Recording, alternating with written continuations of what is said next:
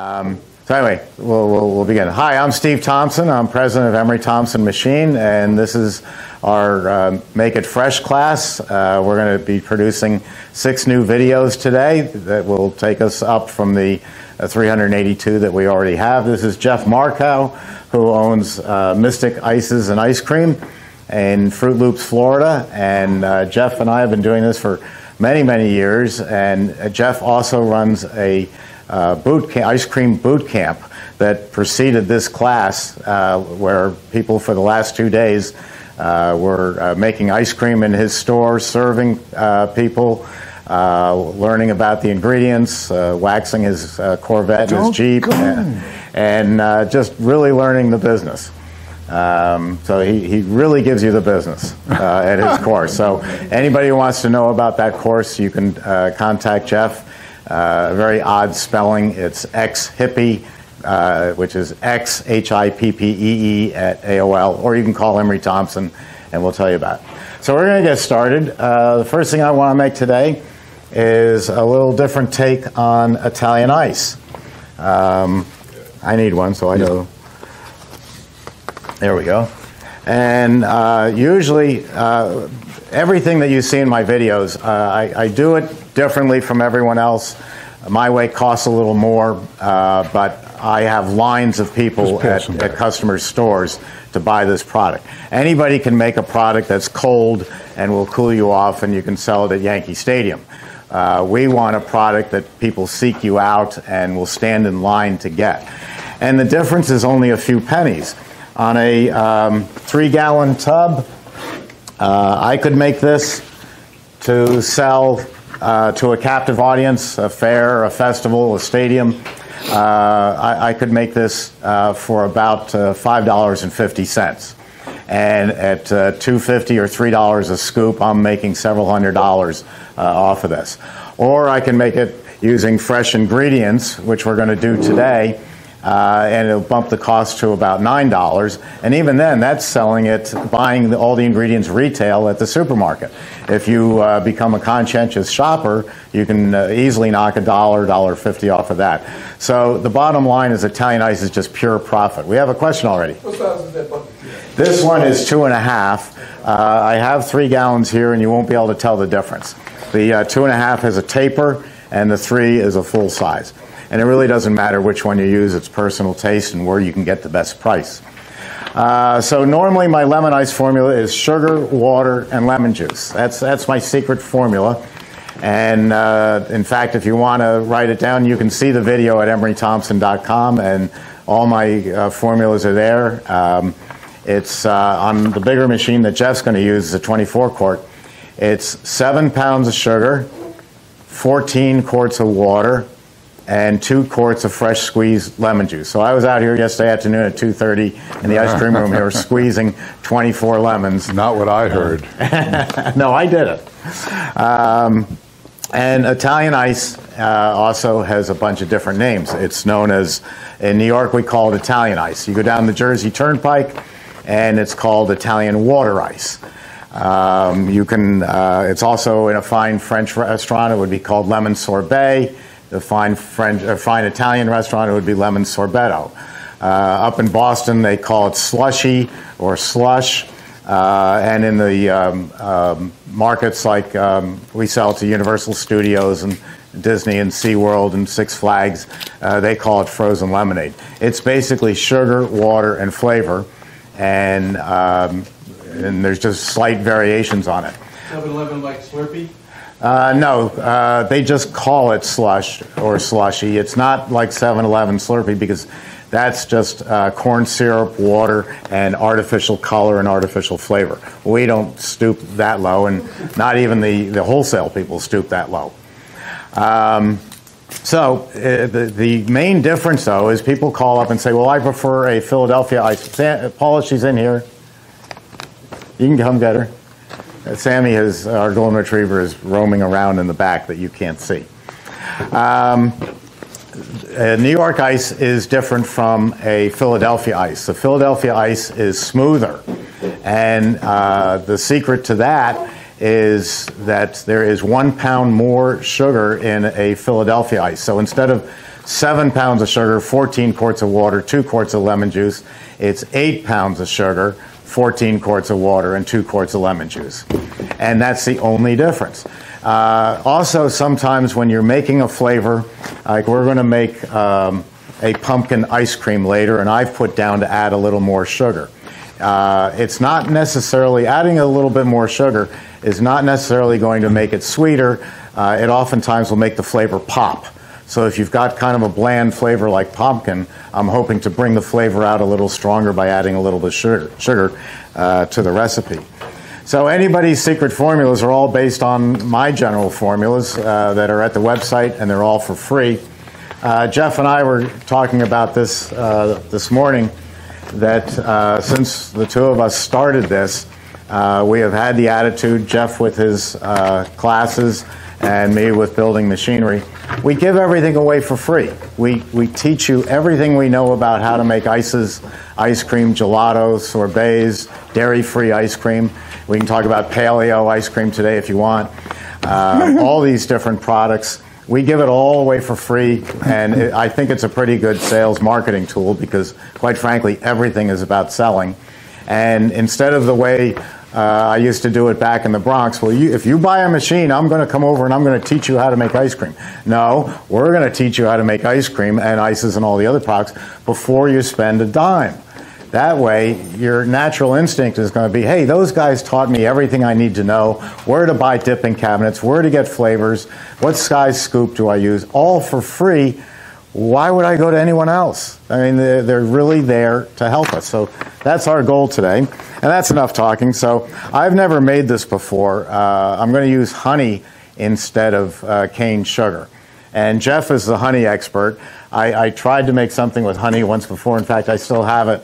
Um, I, I, bought some honey. This, this stuff was $1.98 uh, for a 55 gallon drum and it tasted like it was $1.98 for a 55 gallon drum. This is $25.98. Wow. But as you'll hear Jeff say today, uh, and he'll prove his point very nicely, it doesn't matter what the ingredients cost. What matters is the quality is so exceptional to everybody else, you're going to have lines out the door. But he'll go into that uh, in great detail. So, how much? Oh, we're going to do a half batch today, we said. Uh, so we're going to use You have the juice of 24? 24 lemons, yeah. Okay, here's your water, Yeah, four quarts. four quarts. And then we'll uh, do We'll uh, honey to, to taste. Okay, so I'm going to start with Because the machine will mix it for us. Yes, go ahead. Uh, You were talking about your honey. I use honey too, but what is the difference between probably your clover honey and my wildflower honey? There's hundreds of different honeys, hundreds, maybe thousands of different honeys. Because as we know, it's the only sustainable product on the planet that won't go bad. It lasts forever. Uh, you, you really have to go by taste uh, f- with honey. Uh, today we're going to use wildflower honey. Okay, that's what I wanted. Uh, but the other one that I had was sourwood honey, and uh, there's just a million different kind of honeys. Uh, so yeah, it's taste. That's all. Okay. So this is all clean, sanitized, ready to go. Uh, this is my CB350. It makes six quarts at a time, making sure the gate's closed.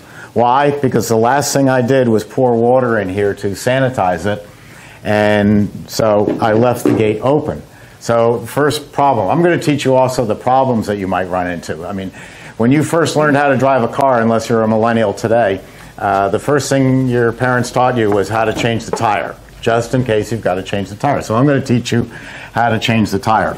Um, and so uh, part of that is the last thing we did was we had water in here for sanitizing. We're going to close the gate.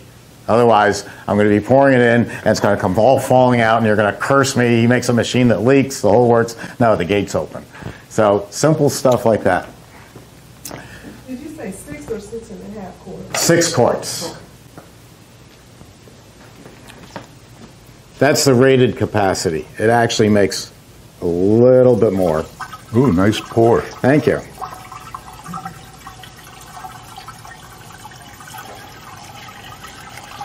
The the lemon juice is conspicuously absent. That's because it's conspicuously in the uh, refrigerator. So let me go get it.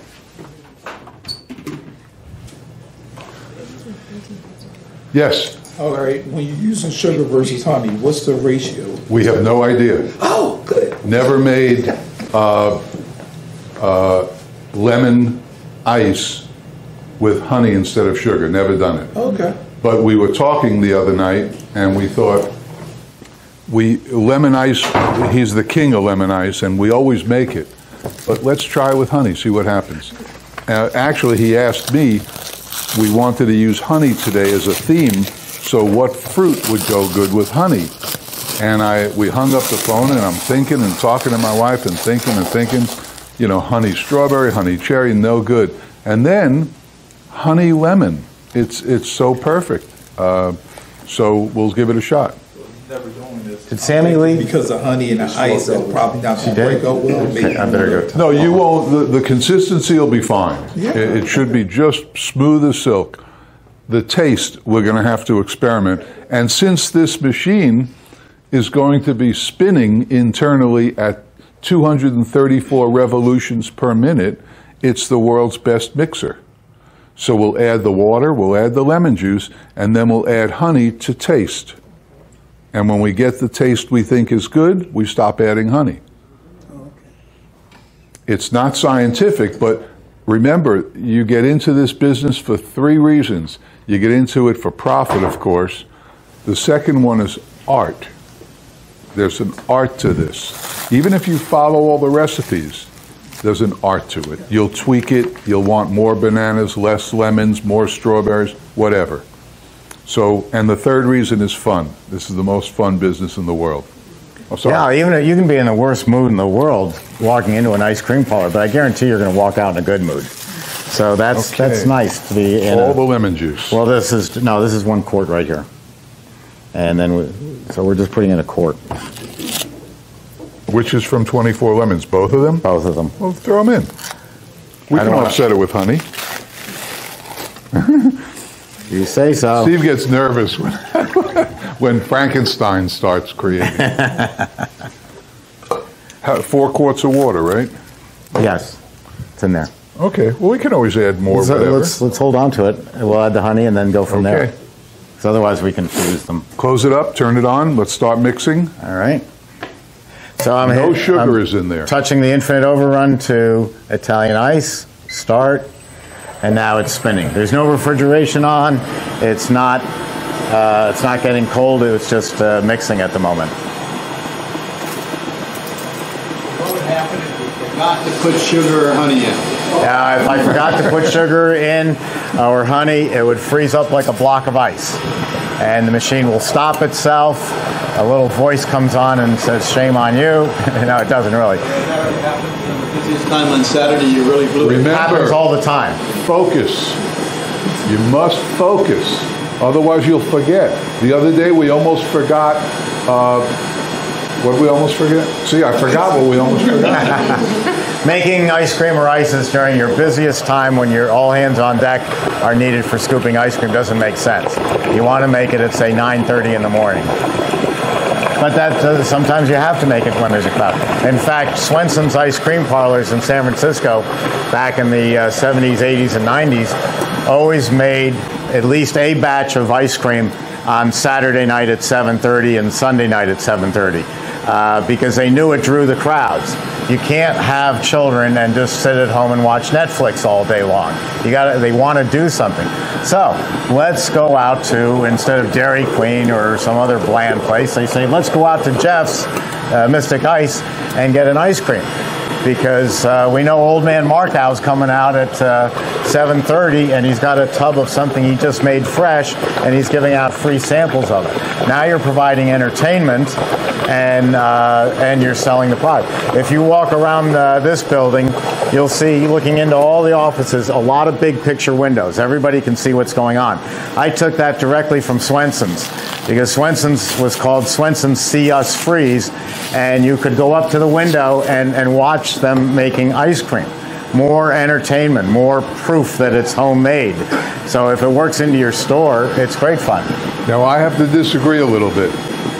I think my philosophy is you can never make ice cream while you're open, while the store is open, because all you need is this much distraction. And your formula is messed up, you forget to pull it, you pull it too soon, too late. There's so many things that can go wrong. So in my shop, never ice cream is made while, while we're open. He's not wrong. We give on every machine lifetime technical support, and you can reach us nights, weekends, holidays, uh, just about any time, uh, up and from 6 in the morning till 10 at night.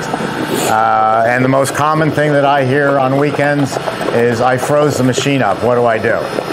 And uh, it's very simple. You unplug it from the wall, and you open it up, and you take everything out and start over. Uh, and then everything will be fine. But uh, the easiest thing to do, and I don't even have one right now, go buy a cheap kitchen timer. And if the batch is going to take, say, 14 minutes for ices, 8 minutes for ice cream, set it for two minutes earlier. And you can even walk around with it in your pocket. But when that buzzer goes off, hey, I've got two minutes to get back to my machine and check on it. So it's really that simple. We do not put automatic shutoffs on these machines. I know Carpigiani and the other people do, and they don't work. And the reason they don't work is because they're assuming every flavor has the same freezing time.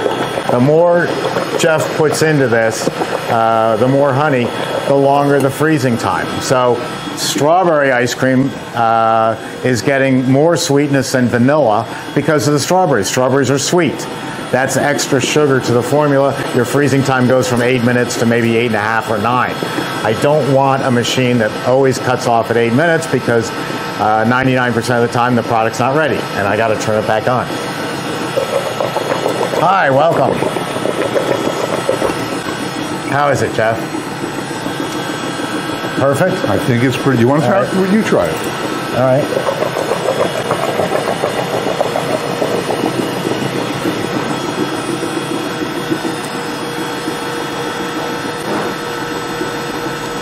More honey? A little sweeter and A maybe a little bit more lemon. Well, that's going to offset. I know, but I want to. I want to. I think a little more sweet. I want to up the flavor a bit. Okay.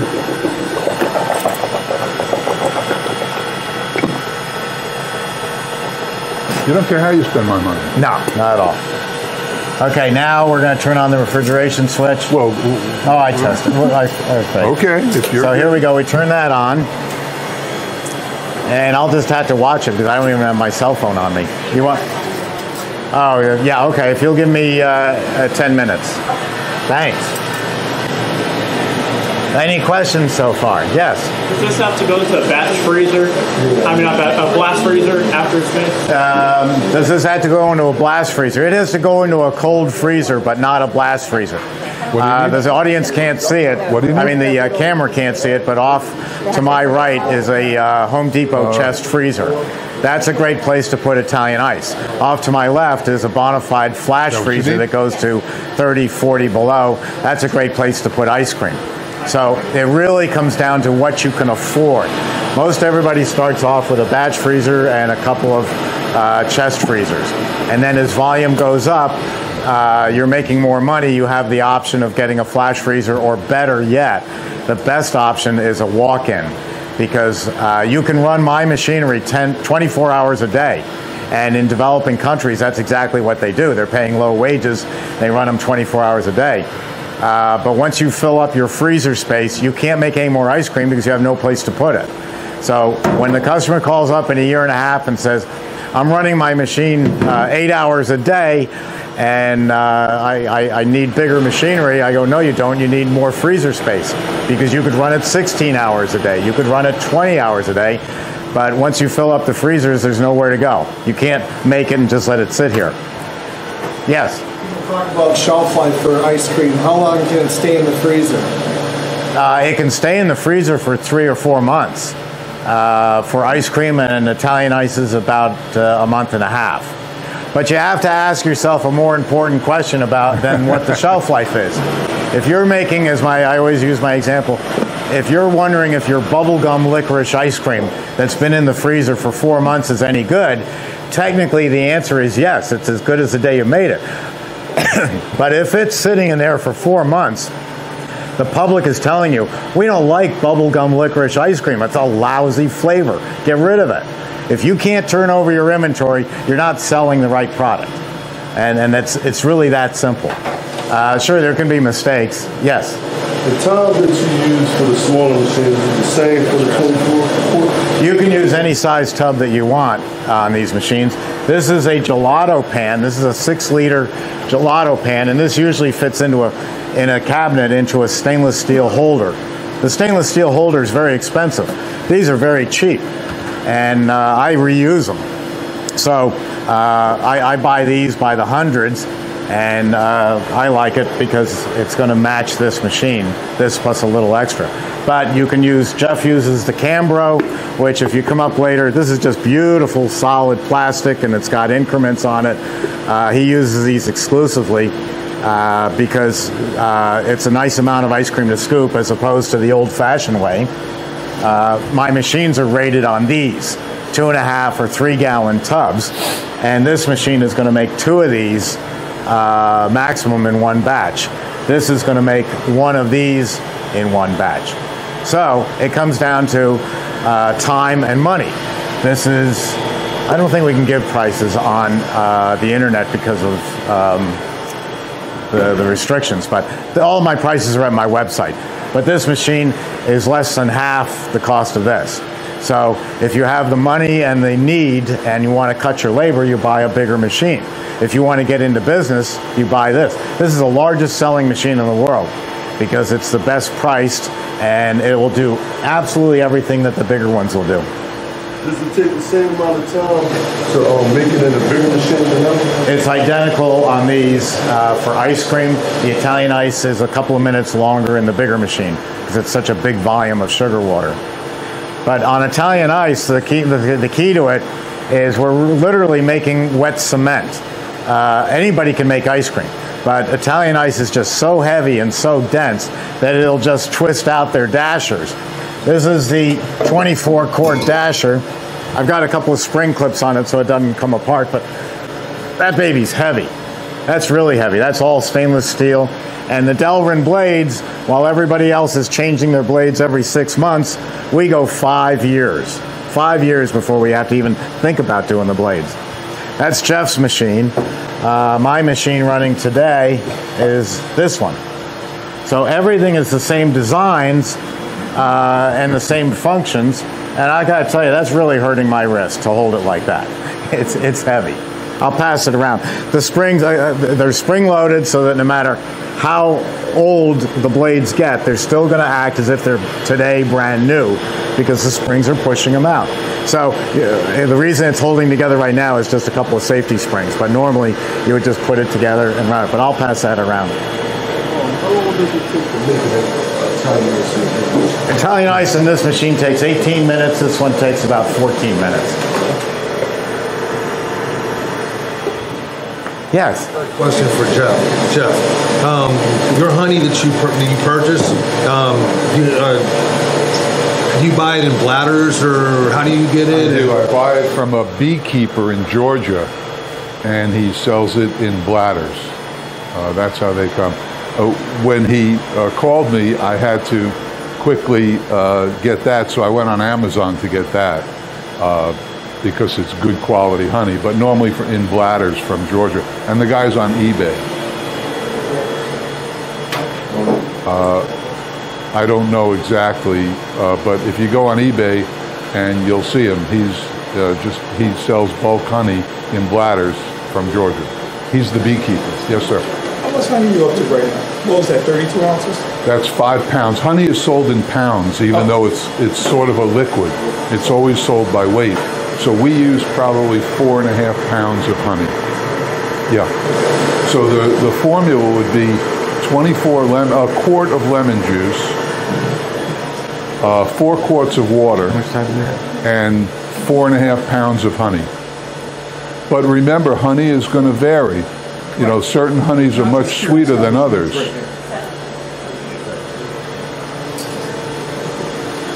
Any other questions?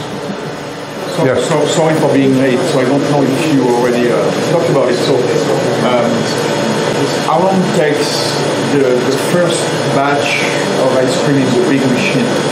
Well, that's it's an impossible question to answer. I'll answer it how we did in class. We talked about it. The first batch of anything of the day, the first batch will take longer than subsequent batches because the machine isn't cold yet. Uh, and how long does it take? I, I gave them each 100 recipes yesterday, and each one will be different in time, depending upon the ingredients. The more sugar, the more alcohol, the more sweeteners of any kind, the longer the batch will take. If you just pour in the bladder of uh, mix, ice cream mix, giving you bland vanilla ice cream. It's probably, in this machine, a 10 quart bladder is probably seven and a half minutes. And you've got, I'm sorry? The following one, four to five? Yes, but if you then decide to make cherry vanilla on the next batch and add maraschino cherries and some cherry juice, now you're going to go to nine and a half minutes, 10 minutes. Uh, so it, it, every batch, every recipe, uh, you've got a hundred recipes I gave you. The time you can't put the time on it, and that's why it's so important to focus. Uh, how many times did I use that word in the last couple of days? You must focus. If the store is open and you're suddenly making a plain That's chocolate or plain vanilla or whatever, then it's going to take much less time. So before you know it, the ice cream's done, and you didn't account for that. So it's just every batch is different. Every single batch is different in time, and that's why there's no timer on the machine. If you put a timer on these machines, it's a false positive. You, you're gonna you're gonna rely on it when you shouldn't. Uh, and when you pull the ice cream, when it when you feel it's ready, uh, he pulls it different than I do. You know, I tend to pull it sooner. He pulls it later. A texture sensor on the machine? A what? A texture, a texture sensor that tells you when it's ready? No, you can't be. Yeah, but sometimes you could have a, a gradual uh, dial when you are telling the machine to tell you when is the texture. And they don't, and they don't work. No, Uh, I invented that back in 1975, and we didn't give it a fancy name like a sensor. We called it an amp meter. And I was selling some machines. They did not sell well because everybody goes, "What do I need that for?" The way any sensor works is it's measuring the load on the motor. When you're making, when you put a liquid in and you're turning it into a semi-solid, the mo- the load on the motor goes up. So that's fine. We're going to be longer. Um, so it's the, the amperage is going up. So I had a amp meter on here. Carpigiani took the idea and called it the Hardomatic for many years, and then they changed it to the Hardotronic, and it still doesn't work because all it's doing is telling you the load on the motor. It doesn't take into account that strawberry ice cream is never going to come out as thick as uh, vanilla ice cream because of the density of the strawberries and everything else. It's it's a fool's game. I have been building. My family's been building these for 115 years. We can put any gadget on it. Nobody else has the infinite overrun control. Nobody else has cast stainless steel doors. All these things are incredibly innovative, but I don't put junk on my machines. And if you talk to people who have machines with junk on them, you're going to find out that that little control, whatever that control is, takes down the whole machine. The whole machine is down. Um, that, and that doesn't happen with an Emery Thompson. You can still keep running no matter what because it's dead simple. This is, I mean, if you're baking a cake, if you're a baker, you do not, you set your timer for 22 minutes, you put in your cakes, you don't come back afterwards and immediately take out 20, the, the, all the cakes. You test the cake because every cake is different for density or quality. So I look at this stuff and I just laugh and I say, you guys keep making it your way. And that's why we've got 90% of the business because we do it simple and honest. This is the way you make ice cream. You actually have to look at it and this is coming along nicely. Now I'm seeing a property here that the honey, we're, we're doing fine on the time, but the honey takes longer to freeze than sugar. So we'll be able to calculate that in and tell people. Uh, and you asked, the original question was, well, if the first batch takes, I say, eight minutes because I pull stiffer, uh, will the second batch be five? No. The second batch will be maybe seven and a half. If I make 20 batches of vanilla, one right after the other, the second batch, the 10th batch, the 14th batch will all be seven and a half minutes. If I rinse out the machine or go to another flavor, boom, I'm back up to approximately eight minutes. Every flavor is different. I don't know any, and because baking and, and ice cream are the same thing. I don't know any baker who just relies on electronics and walks away. I mean, that's fool stuff. I mean, that's, that's for people who don't know what they're doing, but it sure looks good. And it looks like real fun that the machine's going to do all the thinking for me. Okay, yes, sir. So What if you want to make mass quantity of it? But basically, what you're saying is just for individuals. What's mass quantity? Let's Let's define Like that. if you wholesale it or something. Like say if you want to wholesale your water ice, Right. right?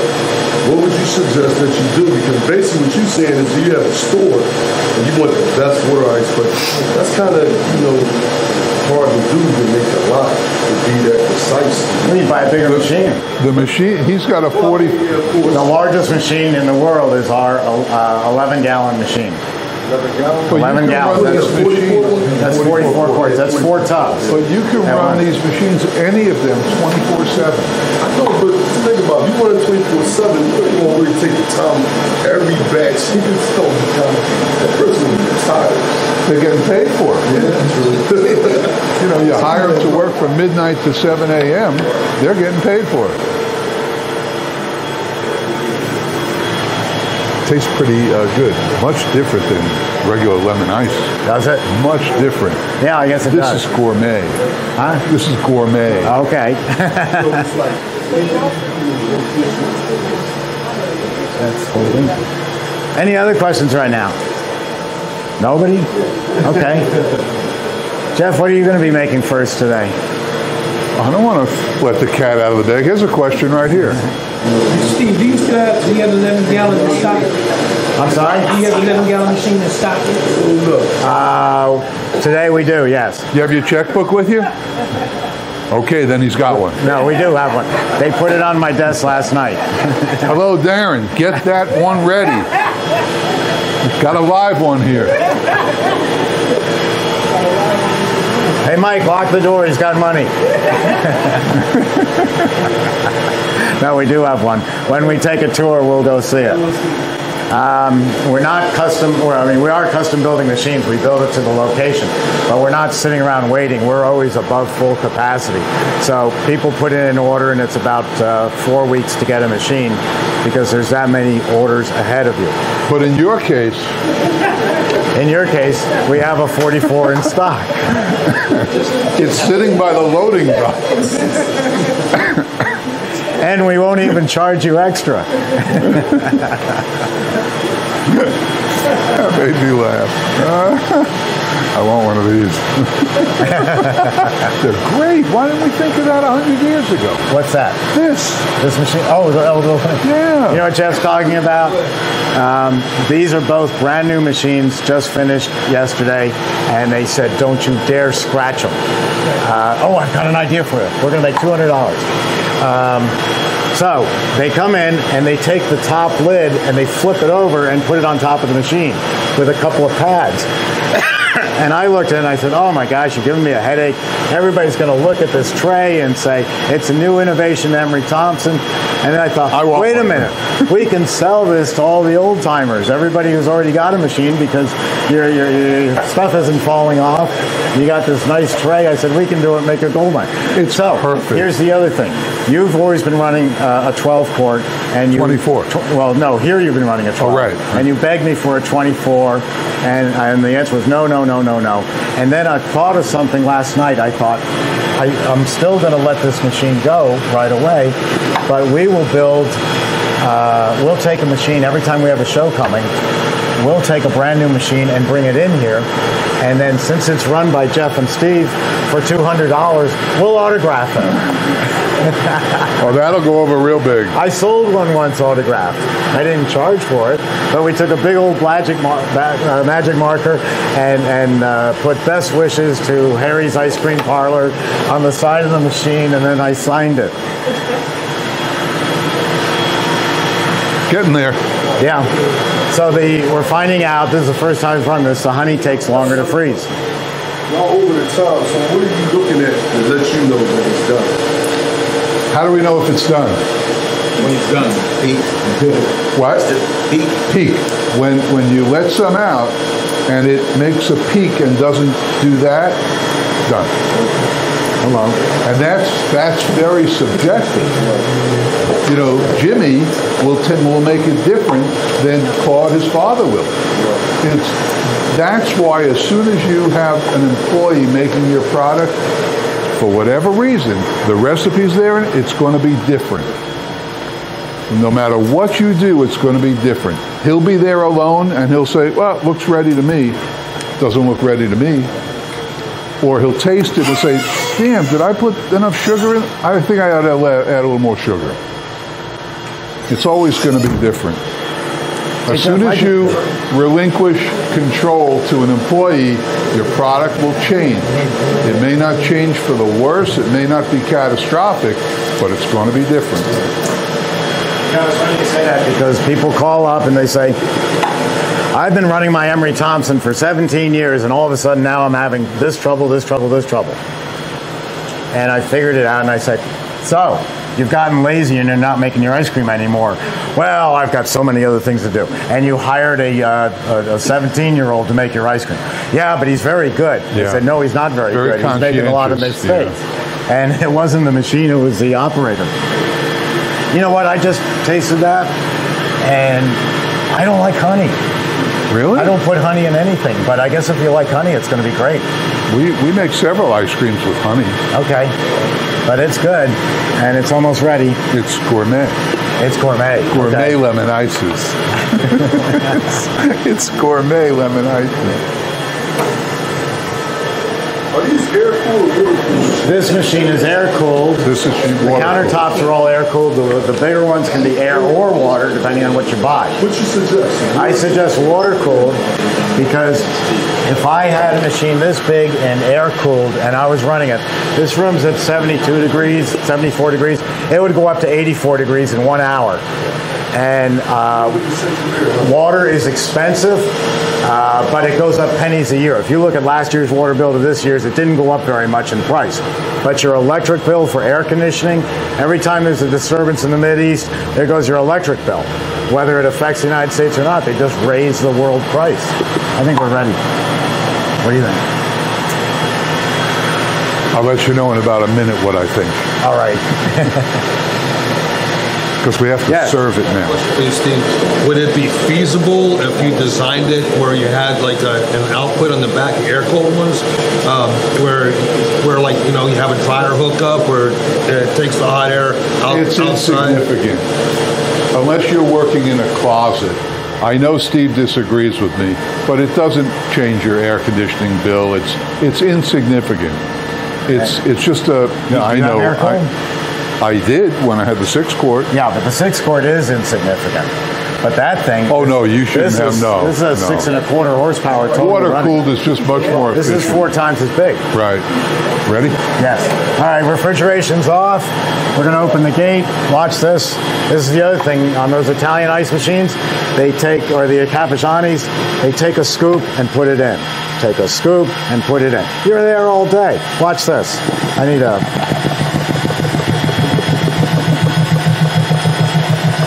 It's a beautiful thing. Get the other one behind you. Yeah. Here, I'm going for a small one. So we will see what it tastes like. Anybody want to try it? Yes. No? Yes. Well, come on up. Let's see what you guys made. All right, come on up and try it.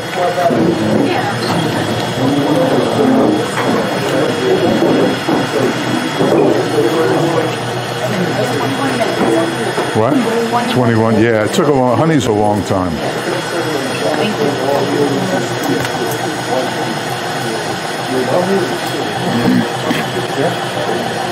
Bob.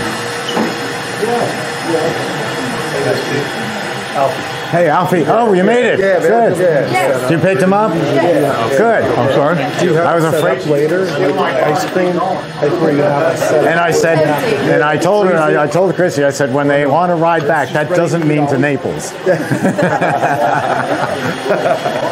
hey, welcome. Nice to meet you. Good to see you. Even trade my truck for his Lexus. Did that answer your question? Okay. Well, I told her I got. Thank you, sir. Sure. Where you from, Michael? Texas, What part? uh, South Central, a little town called Yoke. Oh, not far from Houston? Two hours from Houston, yes, sir. Boy, Houston tomorrow night, huh? Oh, oh, it was great. Baseball, yes, sir. Yeah. Almost went to the game last night. It's like, no, oh, wait. Well, I hope you can wait. You want some for Mike? Yes. Spoon?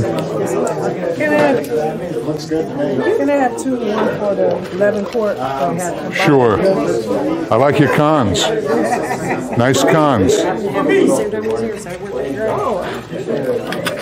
How'd you train her that good?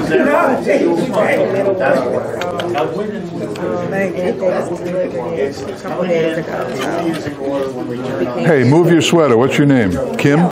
Kim. Take a spoon, Kim.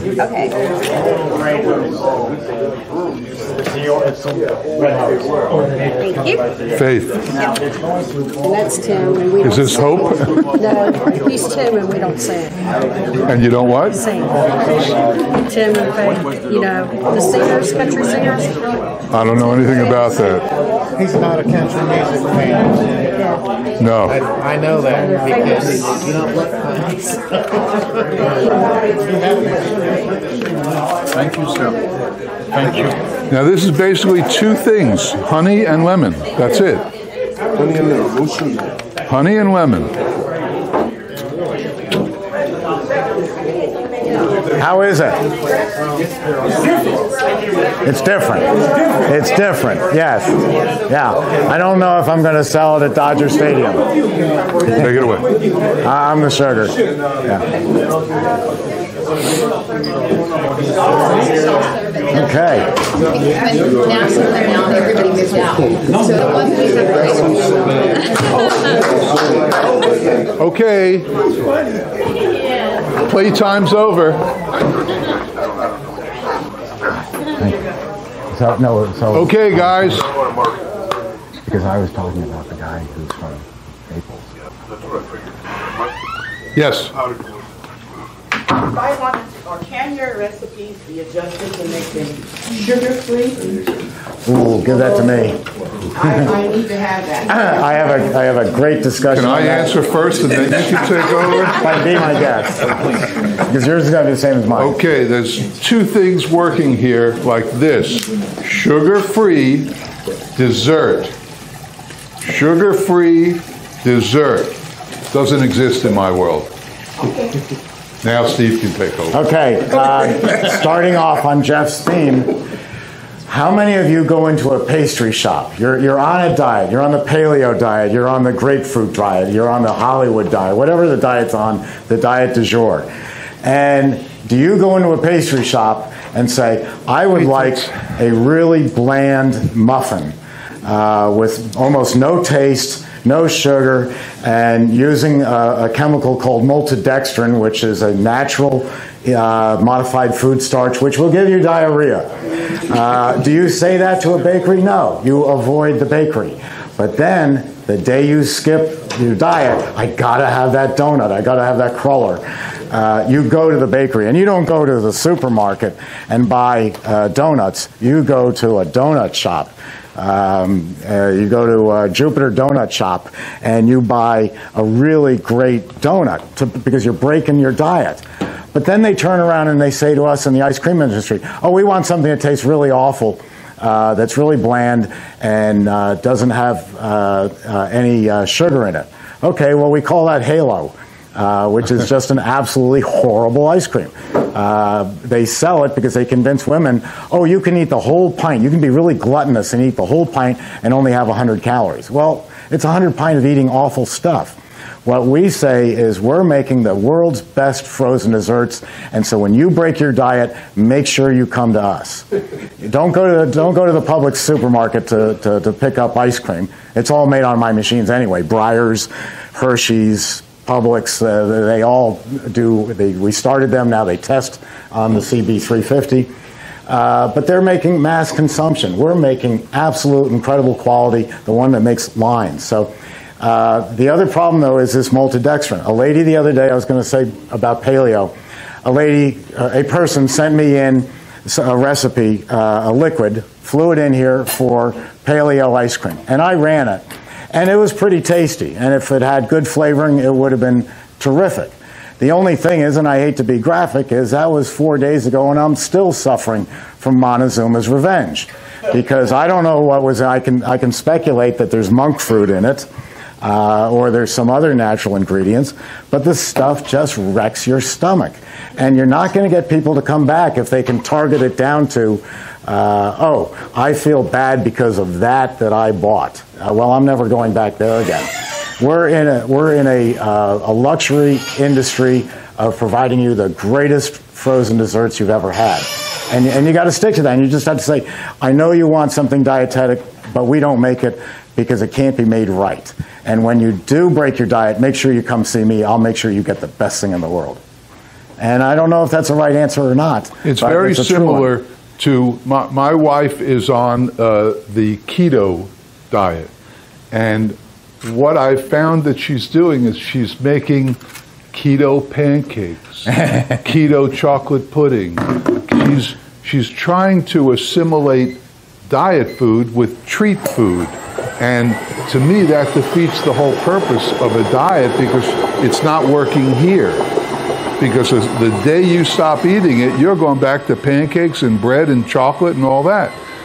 So it, I'll never have sugar free in my store or lactose free uh, or, or any, what else free?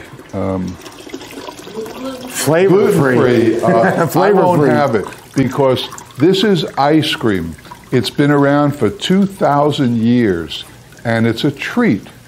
So when you want a treat, come to my store.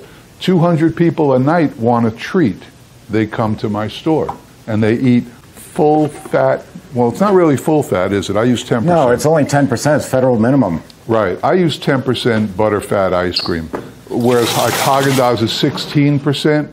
And think of it this way the difference is if you drink a glass of skim milk, you're going to die. It's awful. But yet, if you add just 2% butterfat to that, you've got 2% milk, which is drinkable. If you add 2 more percent, you have whole milk, which is certainly drinkable. But that's, that's a horse of a different color. And Jeff has a wonderful line that he uses in these programs. He says that everybody in the world either wants ice cream or eats ice cream. There, there's no in between. I, I've never met anybody who didn't eat ice cream or if because of dietary restrictions wished that they could.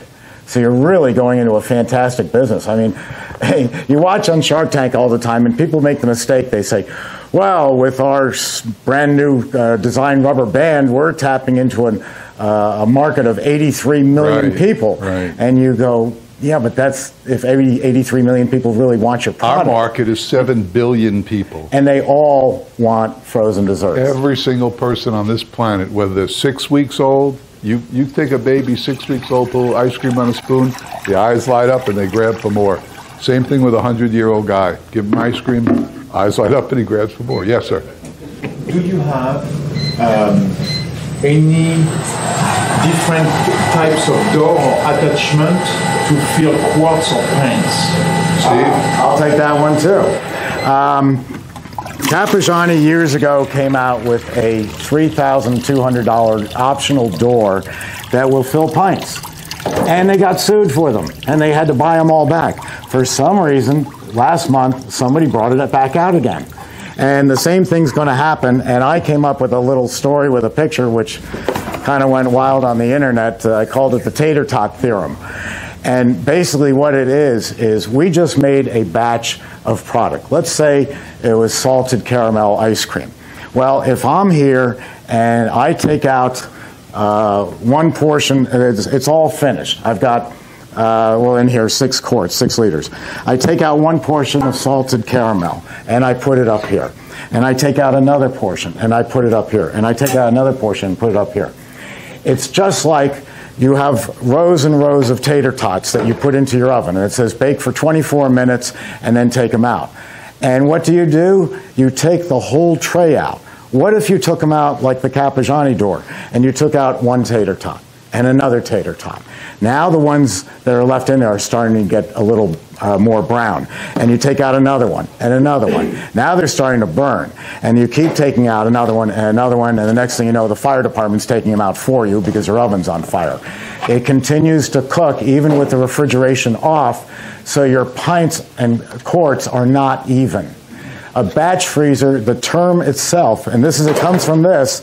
This is what my grandfather was using a hundred and 15 years ago, that's a batch freezer. You make a batch of ice cream and then take it all out, at once.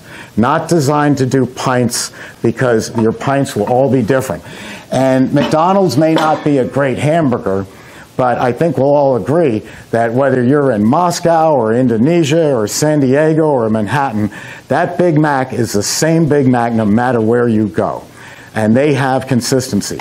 If I only go up, my wife and I only go up to Cape Cod every two years to Four Seas ice cream, best mint chip on earth, no, except for yours. Um, I remember what it tasted like. And so when I go up there, that mint chip better taste just the way I remember it two years ago. It can't be inconsistent, or you run into what Swensen's ran into when they went from West Coast to East Coast. By the time your first, your, by the time your first and last pint or quart is out, it's not going to be the same. The texture is different and the that's weight is different. That's why I will have a blast freezer next to my machine. No, the think texture. about think about this. I, I, there's one point that's not being made. You're beating cream in a bowl, okay? So, you mean by the time everything is Much more air. Yeah, but at this point, your freezer, your freezer stops and it's just extracting without creating. It's beating. It's beating. It's beating, and the bill and the cylinder is still cold. The the cylinder was super cold. Just because you turn off the refrigeration, it doesn't feed anymore. But if you just let this machine sit idle, it'll keep ice cream at ice cream temperature for about two hours. It's very cold. But as the machine goes, which you need to extract more air. When I'm having uh, people over at my house and I make ice cream for the, I, we said this in class, the first bucket that comes out is the one I'm taking because the other ones have more air content in it. But you know, your containers, your white container over there, your tub is what, two and a half gallon? Yeah. So five gallon equals 20 quarts. It's quite fast to fill 20 quarts. No, it isn't. It is not. You try it sometime. 20 quarts is a lot of ice cream, and, and if you're hiring help, they're not working as fast as you. They're not going bing, bing, bing. You want to see that? There's a video of um, an ice cream out of Cleveland where this man has the record for filling pints. Uh, but they're taking it like I did. They're taking, uh, you're, hiring people. They're taking one and they're putting it up there. And then they're taking another one. You have so much inconsistency. What the would you- solution is either you, what I do is I take the tubs, put it in the freezer, and continue making ice cream. Now it firms up even more. I can come back 40 minutes later and hand fill my pints, and I do that until it becomes labor expensive. And then I buy a Solville automation, semi-automated pint What would- filler. what would you pour say- it in and just push a foot pedal? What would you say is the maximum wholesale operation you can have with these? Uh, 250,000 gallons a year. Which equates to how many in a day, like, you know, for argument's sake? Oh, I don't know. You can run a 24-hour day. I, I couldn't give you a number. Well, because his point is valid. If you want to wholesale uh, from your machine, the, it's possible on a small scale. they're always going to, no matter how long you take, it's going to be increasing. Uh, You can get a Sawville filler for seven thousand dollars, and it solves all your problems. But I mean, if you buy the Ca- whoops, if you buy the Carpigiani door, you'll be suing them because everybody else did. It doesn't work. It flies in the face of physics. Uh, if you leave a product in and you're still whipping it, even if you're standing here while we're talking and you're moving a whisk through cream, you're adding air, no matter what you say. I'm going to let you get ahead. You're going to make something. Whenever you're done. I'm done. Okay. Do I have that in writing? or- You, you have it in stone. The bladders, we always use the blad. We're making ice cream now, and uh, we're making. Who said yay? and nothing like ice cream. Uh, and as you know, and you're tired of hearing, I wrote a book of the original recipes that started our store off. Uh, I have six with me if anybody wants one. But anyway, the recipe for this, what we're making, is in here. Uh, I spoke to Steve a couple of days ago, and uh, I said, Well, how about if I make blah, blah, and blah? He said, Well, you know, it's getting to be Halloween, so why not make some scary flavors uh, or whatever? So I looked up in my book, and of course, we still sell it. It's still in my store today, 10 years later Frankenstein. It was called that then, it's called that now. Uh, the difference is, years ago, they didn't have chocolate ice cream mix. This is chocolate ice cream mix. It's 10% chocolate, 10% butterfat chocolate. Uh, most of the time, it's no good. But I use a dairy that produces very good chocolate mix. So the original recipe calls for white mix, which they mistakenly say is vanilla mix, but it's white mix, 10% white, and I would add four pounds of Ghirardelli chocolate powder, and it would come to be chocolate. Uh, so that's what's in the book. But now that we have this, we're going to use this. This is a 24 quart machine, brand new, because he's always got me working on a 12 quart, so we would have to divide this in half. But now that it's 24 quart, these are two and a half gallons. These are 10 quarts, these bladders. That's pretty universal, whether you're in Canada or uh, in the, oh, anywhere that you get bladders. They come two bladders to a box, a case they call it, two bladders. So you're getting five gallons per box. Uh, and the price is pretty much the same everywhere. It var- I found it varies $5, so it's no big deal. So the recipe today, we're going to start with 10 quarts of, the, of this in the machine, all right? Don't ask me a question for the next 30 seconds, because we'll be cleaning up. Uh, I just asked you not to do that. Go ahead, before I open What's it. What's that model number for that machine, the one that you're getting ready to use? I don't know. It's not a C, I know that was a CB three fifty. That's a 24. This is an NW twenty-four IOC dash one. Thank you. Thank you, Yoda. Thank you. Now, what's the population of Rhode Island in September? Six thousand eight hundred. We have our own Siri here. All right, so as we know how to handle this, right? You lift it up, choke the neck, take the top off, and what do we do now? We grip it. We don't lay it in our hands, we actually grip it so that we have control. And then what we're going to do is pour it in here. Boom. Most of it goes in there. It's funny, at the store, I never drop a drip. Drip a drop. How many drips in a drop, Yoda? No idea. Boy, this is great. Imagine taking a, a final exam in this room. Tell me what this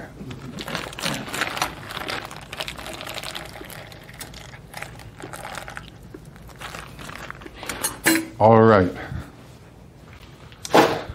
Uh, what I've got here is a tray of fresh homemade brownies with fudge on top. And this is uh, Hershey's syrup. And these are Hershey's mini chips. So that's what we'll do. We're going to do so a little different this time, but what we'll start with is adding the chips. We'll start the machine on.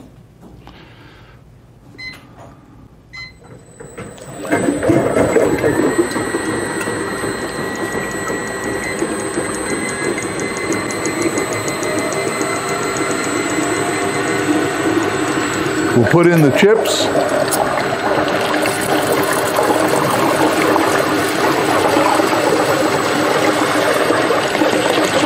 That's another good thing. Big wide neck there. You can throw anything in there. And then we'll put the brownies in.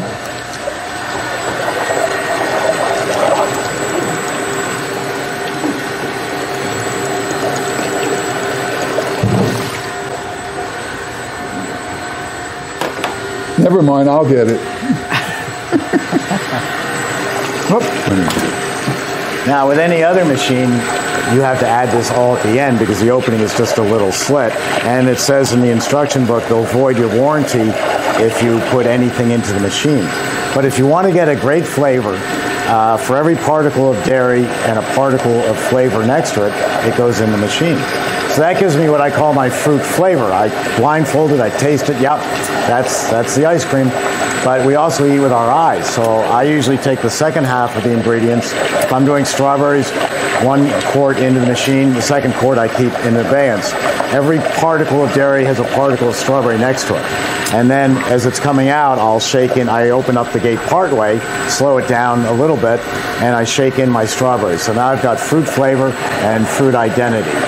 And that makes just an incredible ice cream. That's the way Haagen-Dazs and Ben and Jerry began, and then they got up to the 250,000 mark, and they went over to what's called a continuous freezer, which is a million dollar long narrow tube uh, that makes a thousand gallons plus an hour. So there is a difference between homemade ice cream and commercial ice cream, and it's it's basically all in the application of the flavor. We should add a little vanilla. Sure, it's mine. So, right. oh, like you paid for it. So we'll add, uh, I usually, my uh, ratio is one ounce per quart. So we have 10 quarts in there, so quick, how many ounces? Okay, good. You're man. killing me. That's 10 ounces? Oh, yeah. Oh, yeah. You know, a friend of mine just estimated that in my store, which is only open four hours a night, six nights a week, I have made 58,000 gallons of ice cream. So that's 10 ounces.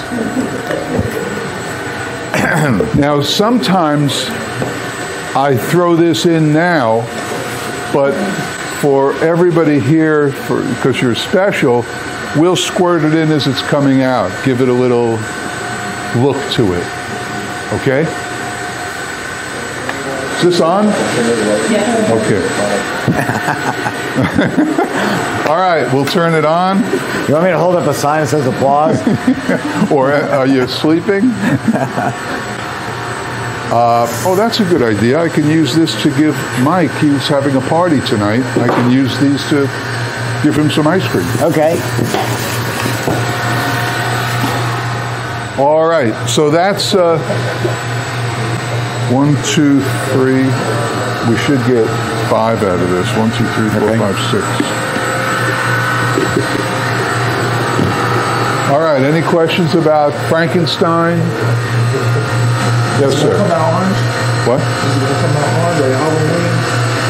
No, we're making uh, Frankenstein, Bride of Frankenstein, and then vampire milkshakes. huh? Huh? Vampire And I'm making uh, I'm making pumpkin pies. Um, and what was my other one? Oh, the banana banana, banana sorbet. Yes. Uh, what's the shelf life of uh, this ice cream that we're making today?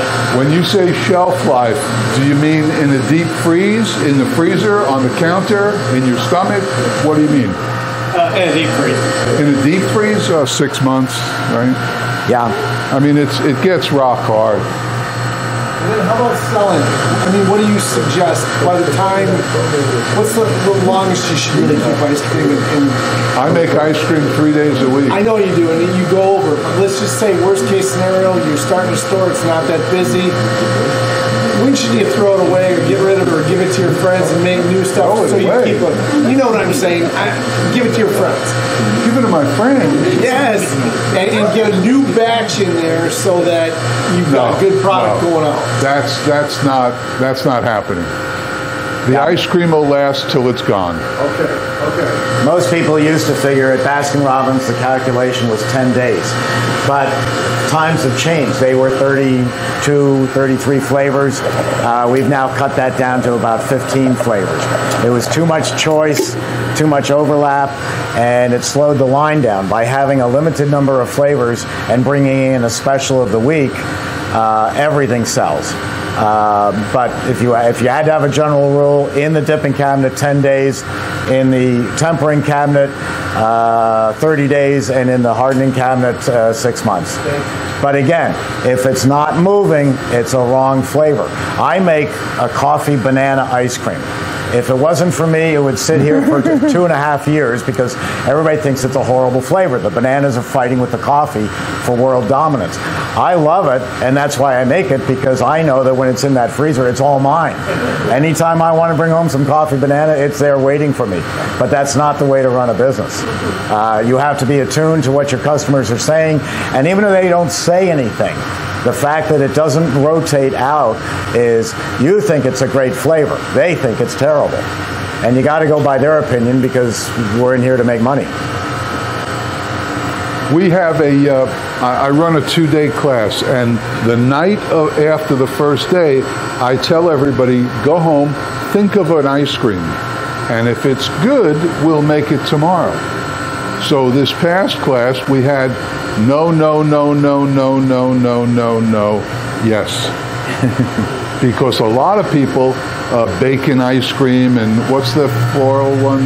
Beer. Lavender ice cream and rose hips and chai tea. I know that ain't going to fly in my store. Uh, it's just, it's just not going to work. But somebody suggested a flavor that did work. We made it, right? Yes, we made it, and it was really good.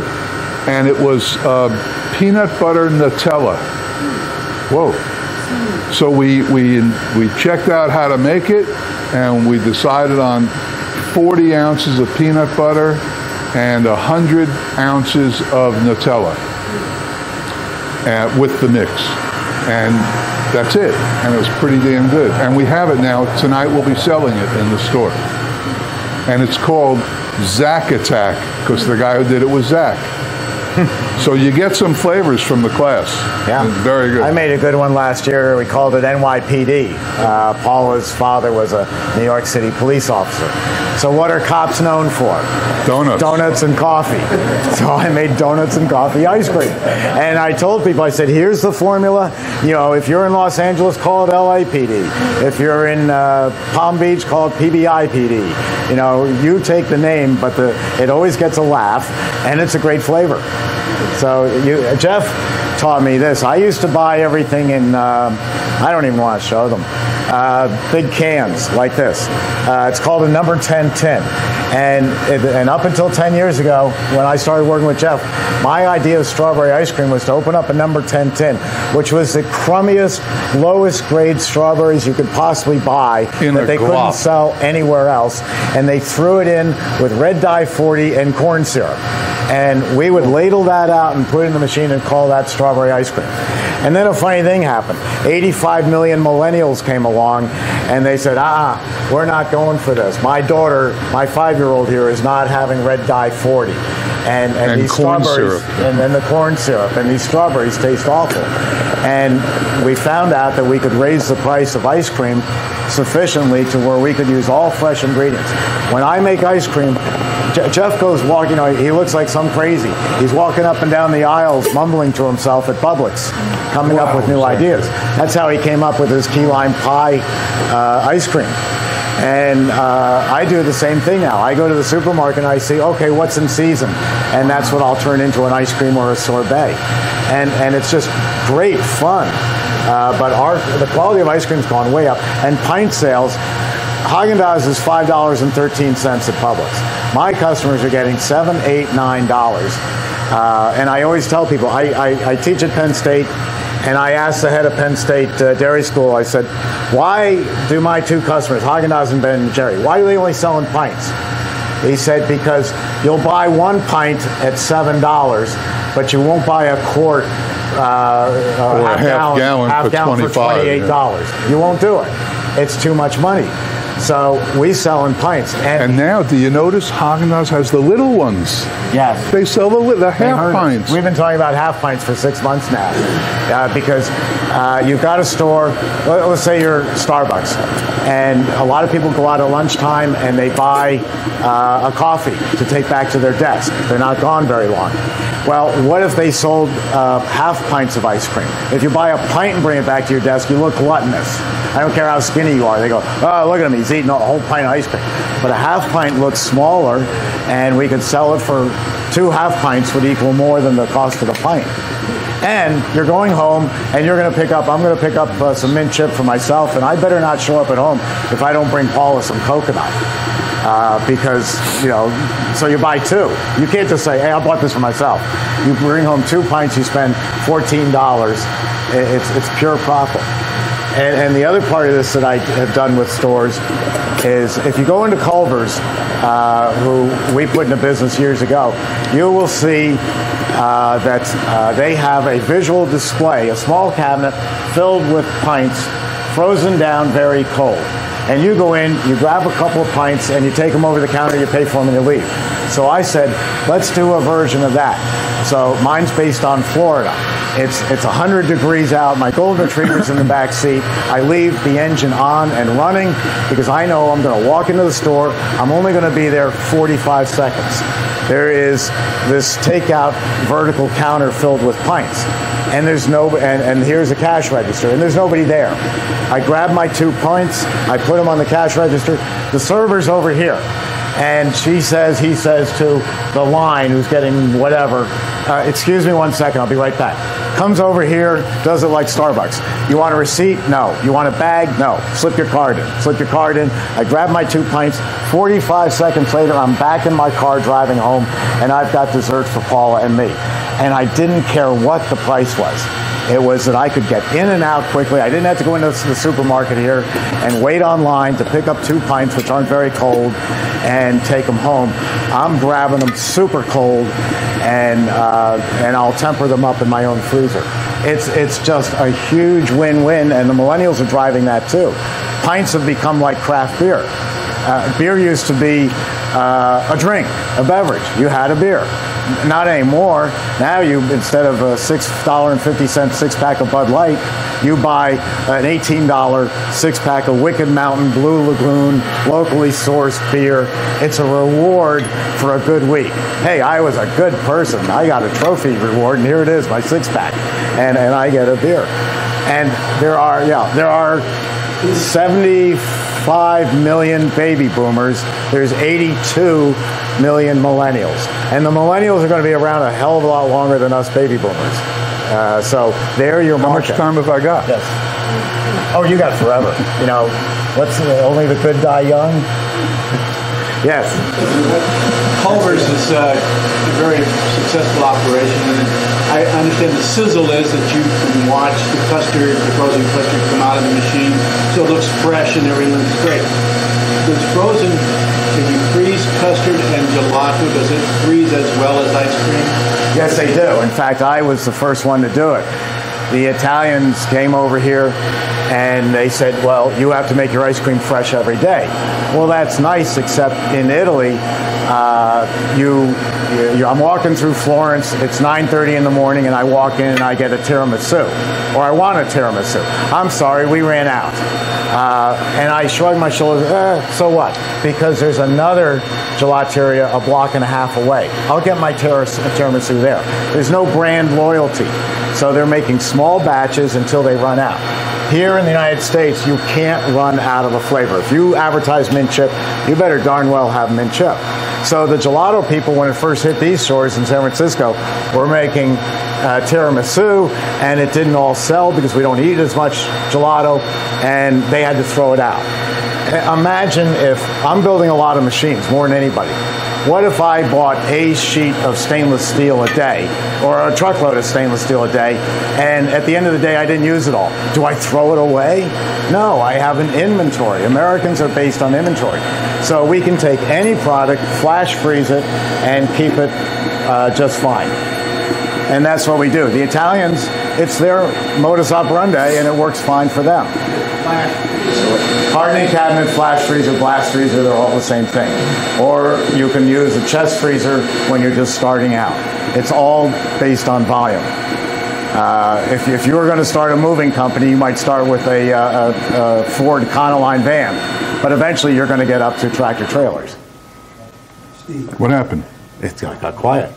You Is it still running? I didn't touch it. You did. No. No, you froze No, it I- up. Really? You touched it. You touched it. How many five gallon pools can you do? You can do two tubs every eight minutes, so give it time to load and unload. That's about 30 gallons an hour, uh, times as many hours as you want to work. It will go on forever. You'll be exhausted. But here's a way to double your production. And I, I think people should do this. There's, there's three groups of people who, in my experience, especially because of my wife, who are always looking for a second job. Uh, policemen and firemen are always have second jobs. Up in New York, uh, it's gardening and landscaping. In Florida here, it seems to be fencing. Every policeman or fireman has a second job doing fencing. Um, and I include the military who have just rolled out of the military, highly qualified, well trained. These are three groups of people who look at a job, not like my guys back up in New York, like, oh, we got to go work at Emery Thompson for eight hours today. What a drag. You hire someone of that caliber to come in at 11 o'clock tonight, and they look at it as it's a mission. My mission tonight is to make 70 gallons of ice cream for the owner. And he hands me my file card, the file card, which I'm not worried about him stealing the recipes uh, as the owner because I got them off of Steve's website and then just tweaked them myself. Uh, you hand that to him and say, hey, I'm going to bed. And you go home and let them make ice cream. Who better to lock up your building than a policeman or a fireman or a military? Give them the key. Let them lock it up. You come in and it's all done. And I didn't make up this idea. Uh, um, Hungry Harry, not Hungry Harry, uh, Harry Coley is a custard uh, business in um, uh, Texas, Dallas, Texas. And his son loved baseball, and work was interfering with him watching baseball. So his father said, Fine, you come in at 11 o'clock and work till 6 a.m. making ice cream.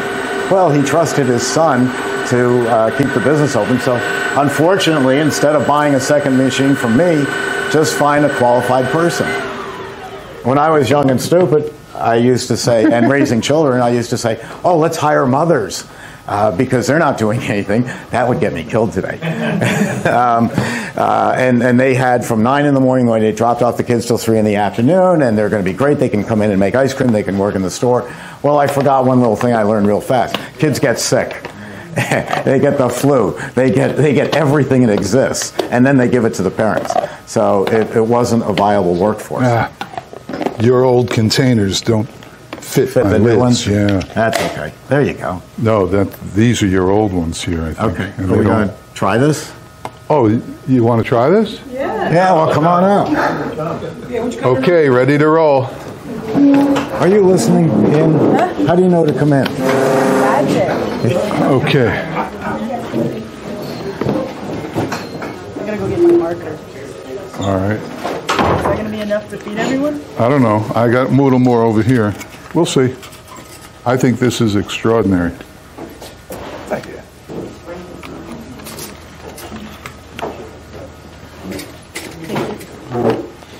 I know Mike, right?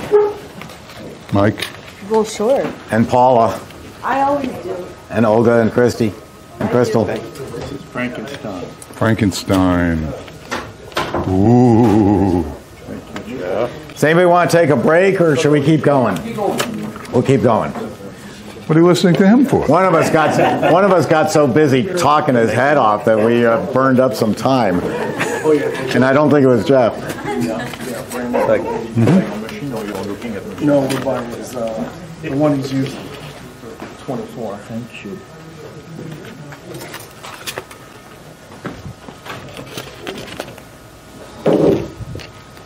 So if anyone out there is interested in this fantastic new tray to put on your machine, uh, we can adapt it to machines built from 1959 uh, through today. And just call uh, our parts department, Crystal and Christy, and they'll help you out. No, we leave it so that you can take What? it off and uh, No, wash not it. yet. You're not. Oh, it's, it's uh, know, the heaviest not games that we use on the machines. Oh, sorry. Okay, I was panicking. Okay. Only a little. We Italian eggs. Oh, good. Now that takes 18, 19. Oh, no. Oh, Uh, Hogan, I think we got. Okay, I'll take it all. Okay, Claude. Claude. Steve said, I'll share with you. Steve said I had, had a Boston hat on. Okay. Oh, I Pretty guess good. I'm that. How is it? Can I get one, sir?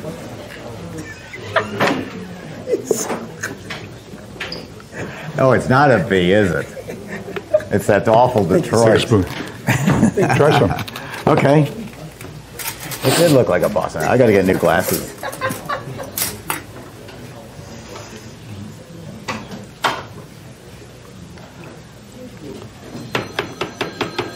I'm not here. Oh, my phone. Oh, that's good.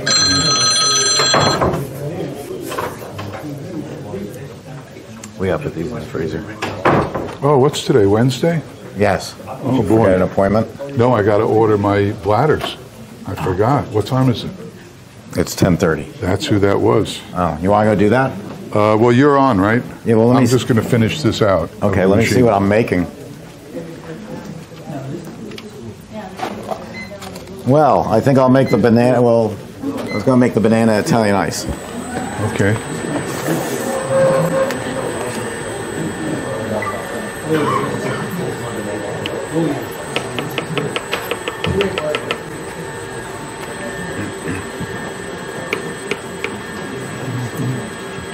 I got into a discussion with um, another ice cream store, um, Gary's Ice Cream in Chelmsford. Gary's Ice Cream in Chelmsford, Mass.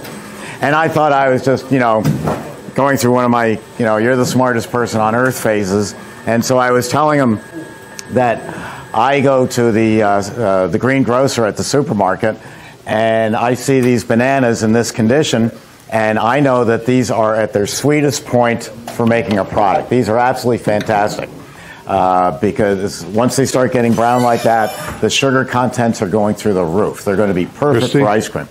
And so I, being the smartest person on earth, go up to the green grocer and say, you know what? You got all these brown bananas here, and they're not good marketing.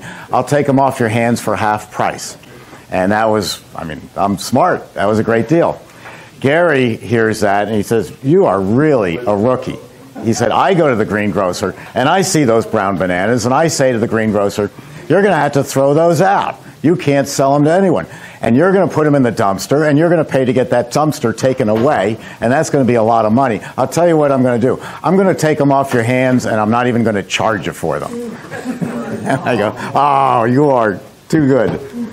But we are, the point is, we are looking for, uh, these have been sitting in a brown paper bag for days, and that's what we want, is um, these to be really, really ripe. And we got really, really ripe bananas. And let me start by washing my hands again. So I'll be right with you. Uh, chocolate ice cream, okay? Great, man. Yeah. Don't have it after six o'clock. You'll be up all night. On the, the chocolate ice creams or, or any flavor that you're adding chocolate chips to, do you find that the, the semi-sweets sell better than the milk chocolate chips? or- I use all three. I use semi-sweet, milk chocolate, and white chocolate. The next one we're going to use white chocolate. Depend, you know, that's the art. That's the art. And you can also use instead of chocolate chips, you can use chocolate chunks. You can buy Barry Callebaut chocolate wafers. Uh, it's all it's all up to you. It's your store. You're the king. If you've seen a difference in, in whether customers appreciate a darker chocolate or a lighter chocolate. Customers, who thinks about them? Your wallet. No, my wallet does just fine. I'm the king of the castle. Uh, I think as long as you use high quality chocolate, you're okay. Uh, I've settled in the middle on Hershey's chocolate. Uh, to me, it's good quality, it's all chocolate, Uh, and it's better than Walmart. I shouldn't say that, should I? No. Yoda, can you cut that out? I'll make a note. Thank you. Uh, it's just like anything else. I, I always profess you can make your ice cream with M&Ms or you can buy Schmem&Ms. M and M's is like six blocks from our stores. So. Okay, but my point is, we did costs yesterday. We did costs to the penny on batches of ice cream because they wanted to know how much money they're going to make in this business and how much money they're making when the customer eats a $5 ice cream. And we went down to the penny on it, and the difference between using the highest quality ingredients that you can buy, no matter what they are. I use Ghirardelli chocolate powder in my machine. That's very expensive, $120 for a box. But the, the, the finished product translates to pennies. It's pennies. And there's so much profit. We're working on, uh, this hard to believe, 65% profit in this business. Nothing else is like that in the world. 65% profit. Right? We figured it out. Mm-hmm. Crazy. On the product. On the product. Right. 65%. What, our triple net was bad? No, yeah, no, it's not. I'm just The saying. triple We're net was outstanding. Triple net is the rent, the employees, the insurance, all that stuff, and we're still making a boatload. That's retail, though, right? Retail. Yeah. Retail. Retail. the backbone of the country. There's no one here. It's the way to go, retail. I know you're thinking wholesale, forget about it. Forget, sorry. No, keep going. Keep going. It's retail. Uh, I started out, I sat back where Bob is sitting the first time I was in this class, before I had anything. And Steve professed wholesale. And he told you to go at 9.30 in the morning to the restaurants. The chef is there preparing for the day. Bring him your ice cream, talk to him. And I did that. And one morning I went out and I went to five different places, and every one of them said, We love it, we'll take it, we'll sell it. Every one of them. But then three days later I pulled them out.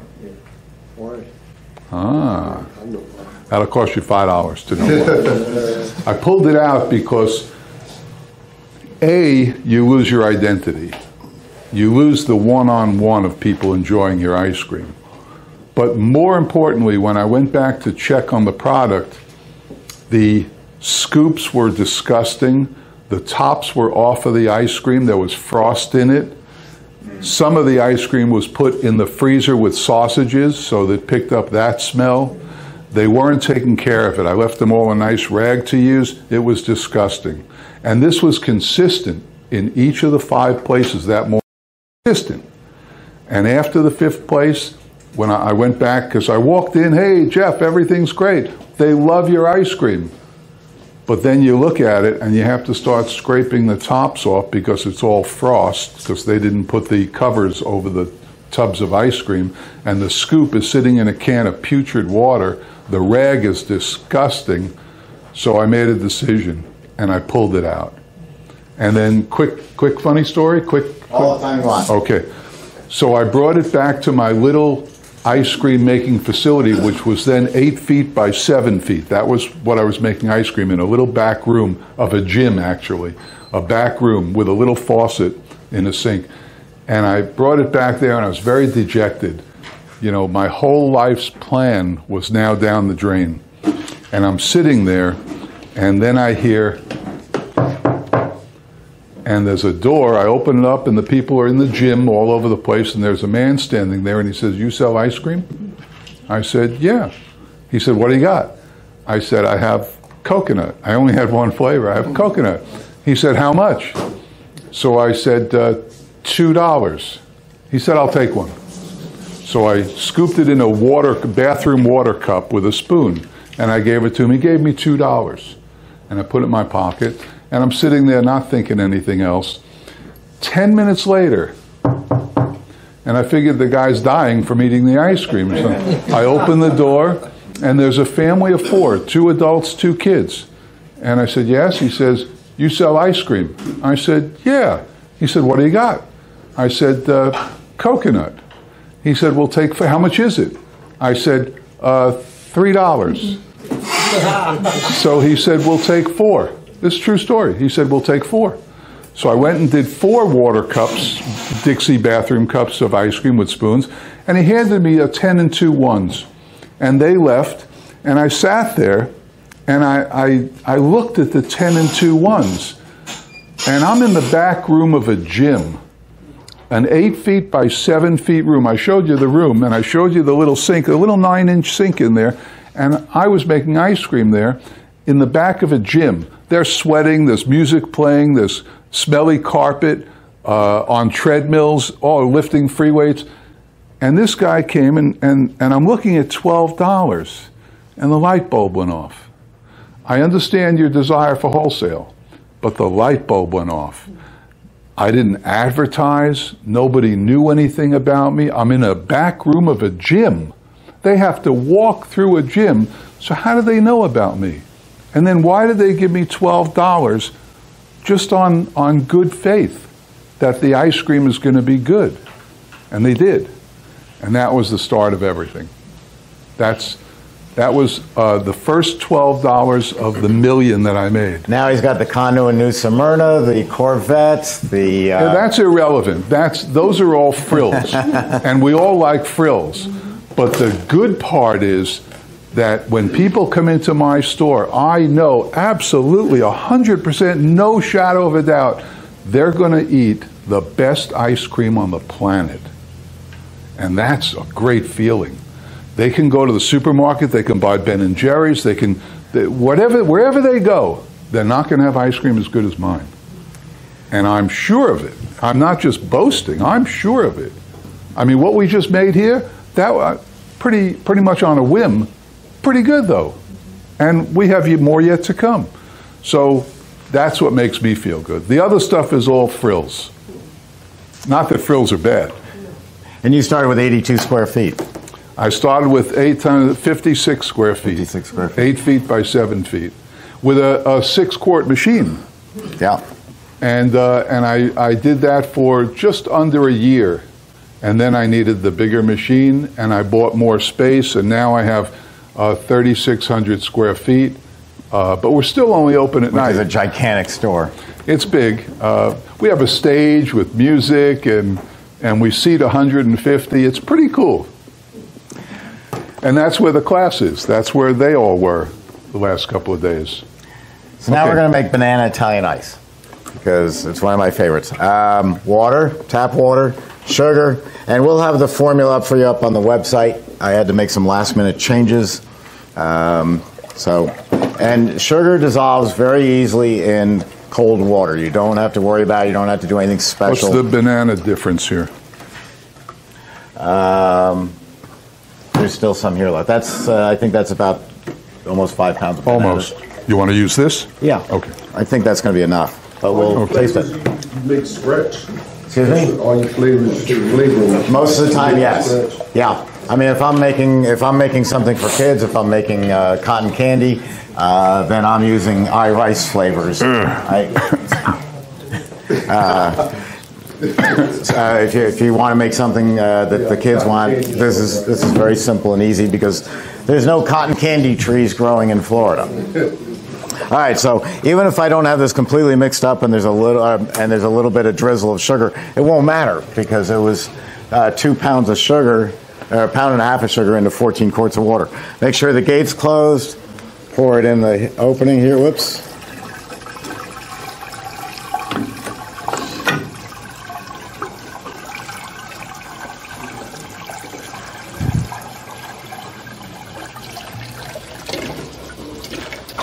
Okay.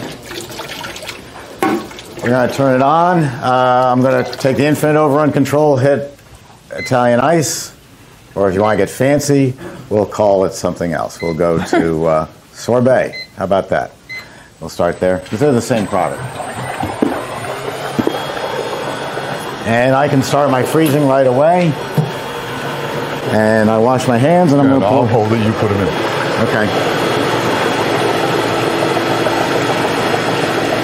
I found out from one uh, parent that uh, he was using my videos to keep his kids occupied on weekends, like Sesame Street when he had to babysit. He had a six-year-old and a three-year-old, and he said he walked by the room, and I was doing this into the machine, and he turned. The six-year-old turns to the three-year-old and says, "Now don't try this with a Taylor, because the openings aren't large enough. You can't do this with a Carpigiani. It just physically isn't possible." Isn't that something? Now, what we're really showing you here is flavor. Teamwork. That's what we're Teamwork showing. and flavor. I haven't had this much fun.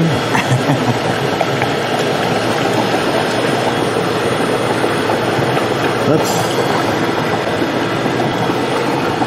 Now, since these are soft, it's going to grind them all up uh, like a Cuisinart, and for every particle of sugar water, I'm going to have a particle of banana.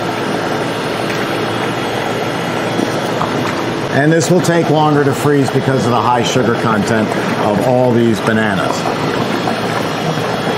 We have enough yet, or No, that's never enough. You know that. Jeff is too much. Uh, based on previous times I've done it. So the formula will be up at the website. Uh, I was going to make it with some other ingredients, and I couldn't get permission from the manufacturer to do it, so couldn't do it. All right. Is that it? Just water, sugar, and bananas?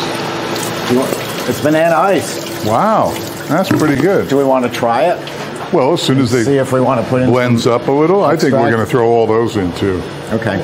I do have some all natural banana extract here from Green Mountain Flavors. Uh, Stan Sitton owns the company, and he's a genius at making things all natural. Uh, a story I tell over and over again, so apologize if you've heard it before, but he sends me a jar like this of concentrated beet juice up in the Bronx. And I, I called up Stan and I said, Stan, you realize I'm in a murder a week uh, South Bronx location. Do you really think I'm going to sell beet juice Italian ice? He goes, No, Steve. Beets are the reddest thing in nature. We distill them down, we concentrate it, and we turn it into a color. Uh, so that instead of red dye 40, you've got your bright, bright red cherry ice coming from uh, beet juice. And this is an all natural banana flavor uh, that um, is. Um, well, it doesn't say what, what the ingredients are, but most, most everything comes from plants. Uh, I needed to make a sea mist green ice cream for, uh, for uh, an engagement party for a relative. And I called up Stan, and a week later, I had this formulation on my desk, and we poured it in, made the most beautiful color you've ever seen. So that's Green Mountain Flavors, and they are not in Vermont. They are in Oswego, O S W E G O, Oswego, Illinois. And uh, the president uh, of Green Mountain Flavors is a gentleman named Stan Sitton, S I T T O N. And again, every time I seem to have an ego problem. Every time my ego gets away from me and I think I'm the smartest person on earth, this little devil shows up on my shoulder and says, No, you're not. Stan Sitton is.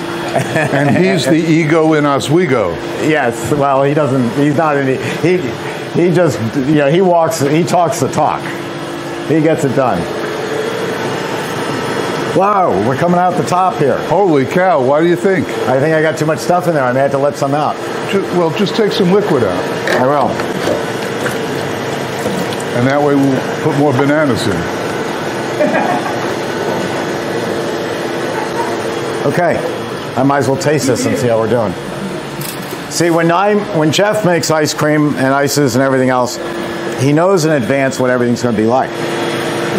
I sit in front of a computer and and just figure what would this be like mathematically, and we'll see what happens. So some of my ice creams and ices are just god awful, um, but uh, um, most of them are good. Let's try a little bit of his extract in there. Where is it? I just had my hand. Just a little bit. Yeah. Like a cap, a couple of capfuls. Not too much. Whoa, that's good. it's strong stuff. That's very scientific, I. Yeah, there's, a, there's enough here to f- uh, flavor 5,000 gallons. That's it.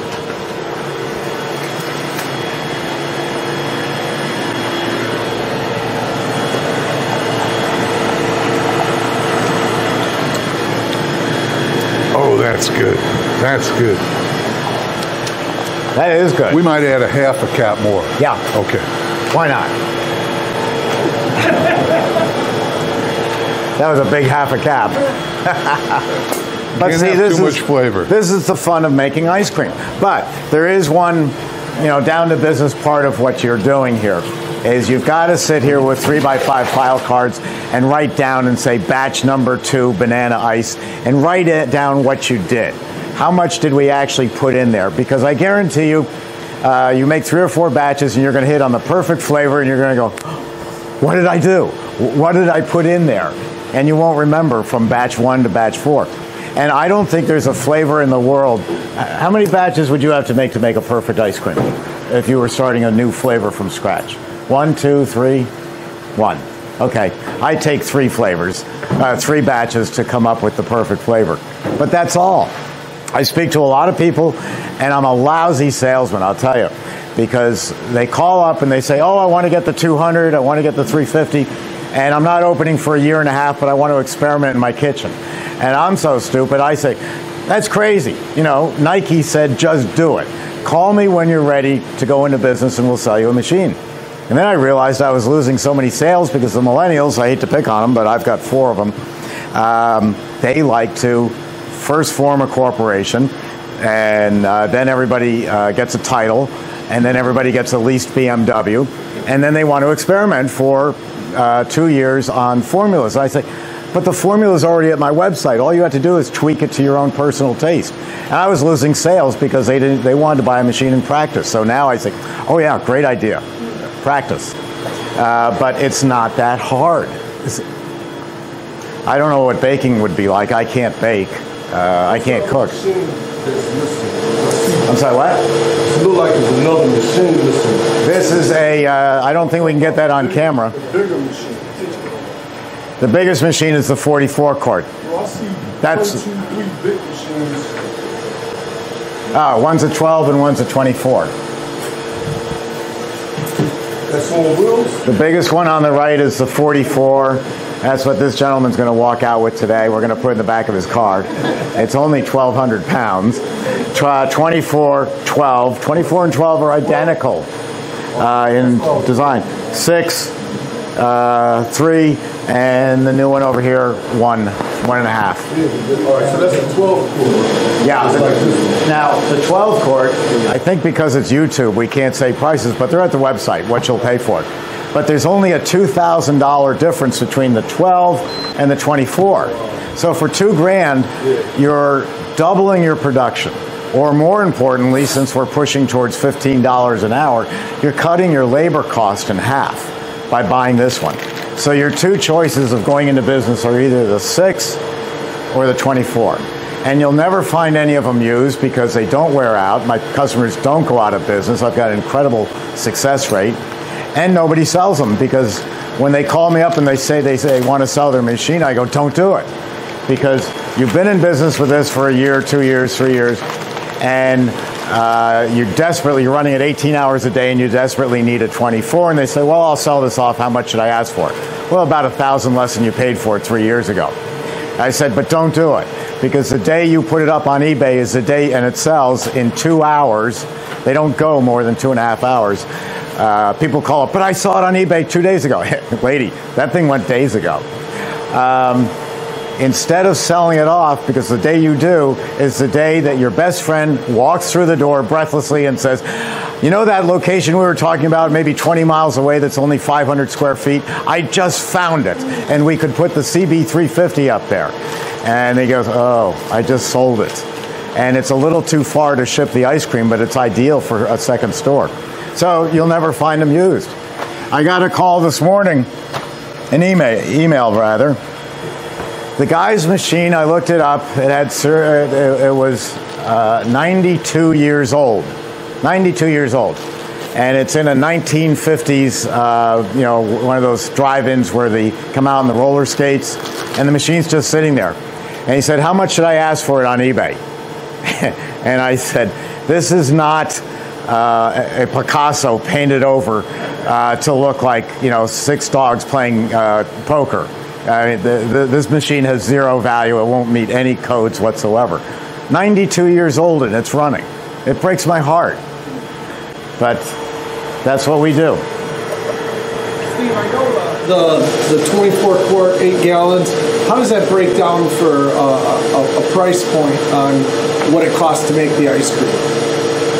Oh, Go from a regular, just a basic ice cream to maybe the big one where it's got brownies, chocolate chips. I can't, I can't give you an exact figure on cost without knowing your mix cost because it varies. Right, But a generalization would be about $20 for a three gallon tub. Now, take, keep in mind though that for every tub of maple walnut, which might be $27, you're selling 10 tubs of vanilla, which probably costs 18. So your average is going to be somewhere around $20 for a three gallon tub. Then you multiply that by four dollars, and there's uh, uh, if you did four ounces, it's 92 portions, and you're talking a lot of money. Jeff is right. The money is better in retail per scoop than it is wholesale, and wholesale people don't like to pay their bills, and they're used to not paying their bills. All I mean, everybody wants their business so much that they let them slide for six months, and you're dying on the vine uh, because you've got 20 of these people, and they're not paying their bills.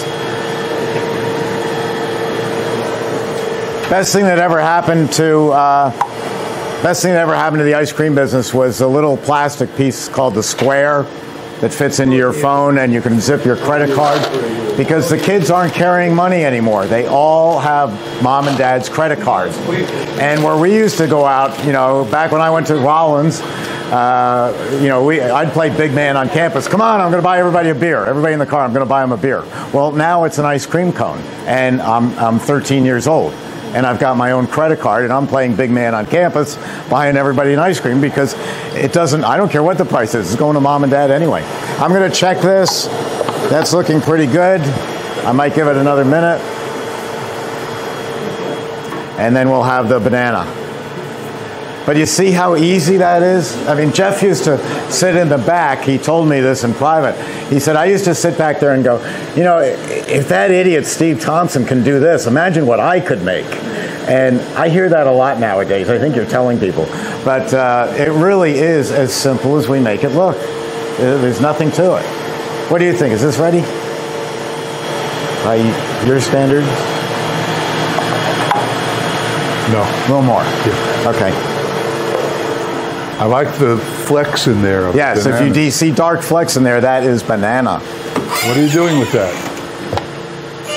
We taking it for Paula.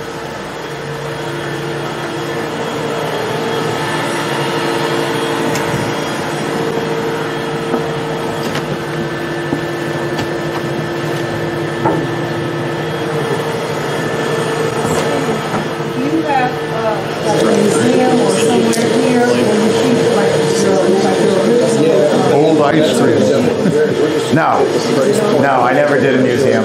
When I was growing up, we had a Quonset hut built by the U.S. Army for us because we were making shell casings uh, for bombs, and that whole Quonset hut was filled with used machines. And the low man, uh, the old machines taken in, and low man on the totem pole, me, was driving the truck and had to haul these things out and get them in the truck and dump dump them in the Quonset hut. So I've got this thing about not wanting a museum. so I don't have anything old around here. Ready? All this thing around here, I want to take a step. Ready? Yes. All right, so here we go. You got the cameras on it? Refrigeration's off. Wait, you taste this. Whoa. I gotta get a little one. Wow, that's heavy. Oh, that's This- heavy. You want to Good shake stuff. that off, this off?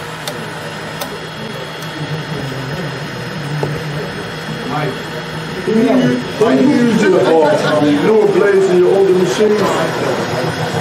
Okay. Um, we have Either newer I blades for the older you eat machines, some. but not the spring loaded. It would be too expensive to change. So that one batch, that's six uh, liters right there, plus this. So even though they, we rate the machine at six quarts, you can see it makes more than that. This is so good. I'm going to have this.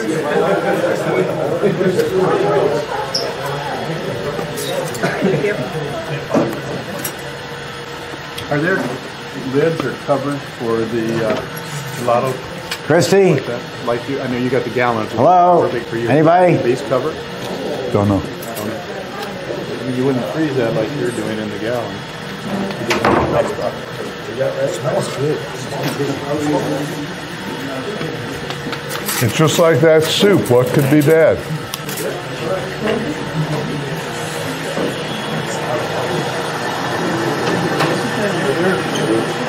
Covers for the, Yes. for the gelato. Yeah, don't touch it. For It's the fresh ice cream.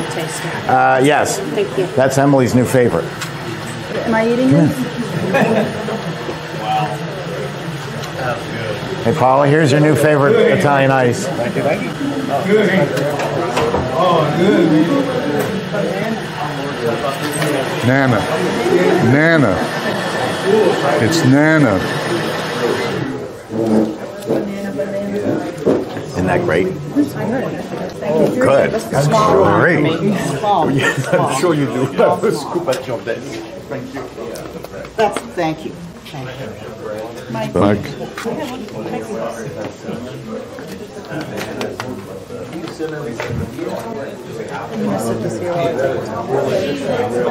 Oh, good. Sugar, water, and bananas. How, how easy can get. And a little bit of the Green Mountain extract, which I really bolstered the flavor. And, and it's all natural. Completely all natural. Finally, and a good one.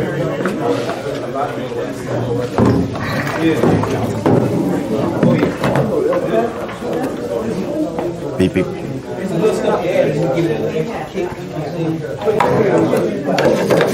I don't spell.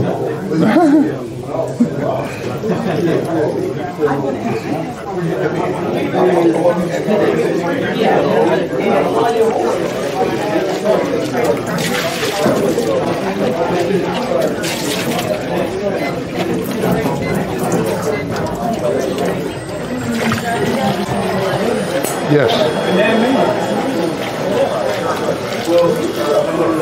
Let's try it. Thank you. Should I make more coffee or nay? Um, well, lunchtime is coming, so probably so. So with that recipe. Maybe you could make cream ice out of that. That would be By just by just adding some of the ice cream mix that Jeff Yeah. uses. Yeah, one and, quart. And, and, and that would just like you could put graham crackers in it. I mean, Yeah. I think that could really you could do a lot with that. Yeah. That that base there. No, the whole Yeah. trick is the fresh bananas and and the uh, extract wherever it went. I love bananas. and That, that's great. Okay, Jeff's gonna make Okay, something else. attention. Ready? Yes, sir. Sebastian, ready? Okay. it's the school teacher in me. it's this, you know, Sebastian, are you ready? Which means, hey, come on, knock it off, sit down. Hey, you're only open four hours, so if everybody talks, you're not selling ice cream. you're right. Eat some ice cream. That was pretty good, wasn't it? That was Two ingredients. I mean, how simple is this? And you could, uh, next week you can add maraschino cherries and have cherry banana Italian ices. You know, anything. You can add a little amaretto, amaretto banana Italian. I mean, th- that's the art of this thing. It's, it's, this is way cool. Yeah. You can add coffee. Coffee banana. No, no coffee. We were just discussing how this would probably be your highest profit margin. You bring them a tub of great ice cream. Correct, correct. I have some bananas left over as soon as you all leave. Leslie, Leslie just pointed out a good thing.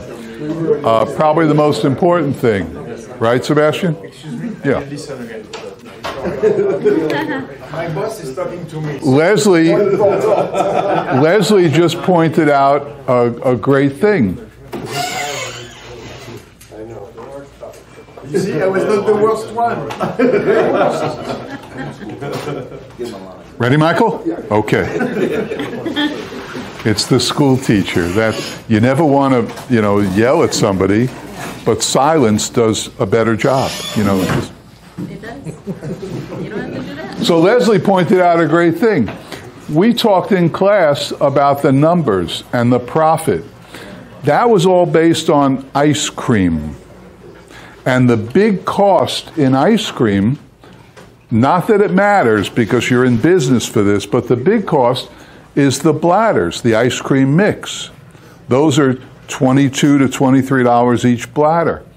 Well, Leslie reminded me just now, that's not here. We have two ingredients sugar, water, obviously, but bananas that are virtually free because you're buying the overripe ones from the store or getting them for free. So, not bad. I mean, we're, we're nearing uh, 95% profit on this, on what you just ate, and it's pretty darn good. You, it's certainly saleable. Quick question. How, how many other fruits can you buy that's overripe besides bananas you can use? Well, let me see. There's I mean, I'm peaches, cherries, I uh, apples, Mess up the batches when I'm peaches, cherries, apples, cantaloupe, So it honeydew. mess the batch up. It won't taste funny. In No, they, they. All you're getting is more sugar. You're not reducing any flavor. All you're doing is increasing the sugar, right? You, this is your business, right? Yeah. So the, I mean, different times of year you're going to get more sugar in the in whatever fruit. This is a great time of year for honeydews. Right now you're going to get high high sugar honeydews, but otherwise if you have a mediocre honeydew, maybe you just add some more sugar. I would guess. Or let it ripen. Yeah, let it ripen, sit out. Let it sit out and ripen. Uh, I know it's not as good as farm ripened, but when we have when we want to use fruit that's not ripe, like peaches, sometimes they're hard as potatoes. But if we put them in a brown bag and let them sit, The Brix never really get there. The sugar Brix are just not there. You know. which is a great. Alfie brought, brings up a good point. This is why, in my world, we don't use fresh fruit. We always use frozen fruit because frozen fruit is always frozen at the height of its ripeness, or when it's ready to be sold, they freeze it. Uh, hopefully, but that's that's why the cherries and the peaches and and all the fruits, strawberries, blueberries, that's why they're more expensive frozen, but they're consistent. So I can make uh, blueberries are in season here in July. My wife picks blueberries in July in Florida, June and July, and they're delicious. So she picks bags and bags and freezes them so that we can have the same sweet, whole flavor fruit in January. And that's the same philosophy in the ice cream. I want my customers not to come in in January and have my cherry vanilla and do, you know, no good. So we want them the day they were picked, frozen, as sweet as they were when I gave them to them in the summer. So, uh, yes. Where where do you get your uh, frozen fruit from? Restaurant Depot. I knew you was gonna say What? You have one. There's one by you, right? Where do you live? Miami. Miami. Of course, you got Restaurant Depot right there. You can also get it in Costco, BJ's, or Sam's Club. But Restaurant Depot has a great variety of frozen fruits in sizable bags that we can use. Uh, the other thing I do for my cherry vanilla, I import cherries from Door County, Wisconsin, known for their cherries, right? Uh, and they are superb. Door County, Wisconsin, cherries are superb. Just like Colorado, I was motorcycling through Colorado, and my wife said, Don't forget. Oh, Amber Alert. It's your fault. It's an Amber Alert. Okay. I stole your car. Uh, my wife called me when I was on the motorcycle trip, and she said, "Don't forget to get Palisades peaches in Colorado. There's a special place right off the highway."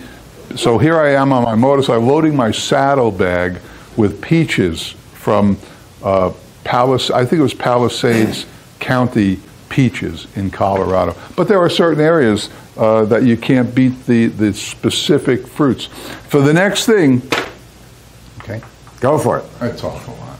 We all do. For the next thing, uh, also from my original book, these are 20, 10 years old. Uh, and we still run these in the store. These are unbelievable. Uh, Bride of Frankenstein. Now, I have to warn you. When I invented Bride of Frankenstein, it was so good that every night I took home a quart, every night, took home a quart and ate it watching TV. And of course, uh, but not really, right? So this is. The other one was Frankenstein, darker chocolate. This is of Frankenstein, white and white chocolate, and golden Oreos, or blonde Oreos, I call them. I don't know. So now, remember, what did we run in here before? Chocolate. Chocolate. Frankenstein. What was in the Frankenstein? Chocolate. Chocolate mix, chocolate chips, brownies, right? Now, I did let it, most of it run out. Do I have to rinse the machine now? No. No. No, of course not, because we're adding, first of all, these machines, I guess, I don't know if you know, the cylinder is canted five degrees. Five degrees? Is canted five degrees. So when you extract product, you saw how fast it was, but that's only half the story. The other half is how complete it is. Yeah, there may be an errant chocolate chip in here, and there may be three ounces of chocolate mix in here, and maybe a few brownie crumbs. Uh, but is that going to matter with 10 quarts of white mix in it? No, won't matter at all. Okay? You can rinse if you want. Yes. Does it have to do with, I mean, as far as personal preference, um, whether, to rinse or not, or the time between you making? Well, here's what I base it on. I base it on the inclusions. Uh, if I had run cherry vanilla before this, I would rinse it now. Because I don't want cherries in my Bride of Frankenstein. Or mint. Mint is the ultimate rinse product. You every time you make mint chocolate chip ice cream, you've got to rinse the machine because mint pervades other flavors, even a small amount. And I don't want mint in my next flavor. But when I'm planning my production for the day, as we did, right? We planned it in order. We we set our cards in order of production. And Steve and I disagree on this. Steve says all the white ice cream and all the brown ice cream. Uh, that is of no consequence to me. What I care about are the inclusions. If something has chocolate chips, I don't want to run coconut next without rinsing because in the coconut ice cream that people are eating, there's going to be what looks like a bug. it's only a chocolate chip, but I don't want anything disturbing the pure whiteness of it. So I would rinse, but I wouldn't make them in that order. Because I'd rather have a stray piece of coconut in my other ice cream than a chocolate chip in a. Is that only me? Don't you all get these? That's not me. No, it's everybody else is getting them. See, I get it first because they know I'm like Superman. I'm- all right, so we'll start. Now, by the way, this is interesting. The everybody has a grandmother. The grandmother made soup. When the grandmother made soup, she had the chickens, she had the onions, she had the leeks, she had the carrots, and everything she put into the pot. And the soup was then very good, right? It's the same thing with the ice cream. If you put good stuff in, even if it's not exactly as you envision, it's going to get good stuff out. It's just the nature of it. This is this is great. You can throw this in with nothing else and come out with decent vanilla ice cream. Not what I would sell, but decent vanilla, homemade vanilla ice cream. So everything that you add to this, if it's of quality, is going to make a great ice cream. It only makes sense. Is this on? Yes. All right, so the glaze over there. No, soft serve is. Uh, can I say crap on TV? You can. Okay, soft serve is crap. All right, so same thing. We're going to take this. Confidently throw the lid away. Grab the bottom, and in we go. And it's so nice to have a 24 quart machine here. So nice for you, you get to keep all the ice cream. That's right. You bribe all my banks with it. And you have a lot of them. I do. all right. So what we're going to add to Bride of Frankenstein, we're going to add white chocolate chips. Remember, Frankenstein was dark chocolate chips. This is Bride of Frankenstein, white chocolate chips. And we're going to add blonde Oreos instead of dark uh, brownies with fudge on it. And then we're going to add secret ingredient that I can't tell you what it is. Why? What? 25 cents and I'll whisper it to you. All right, so we're all set with this. This is this is Heath bar pieces. Uh, and you know what Heath, I mean, gee. Have you had Ben and Jerry's Heath bar Oh, crunch? yeah, yes. Outstanding. Yes. Great ice cream. This is better though. All right, so we're ready to roll.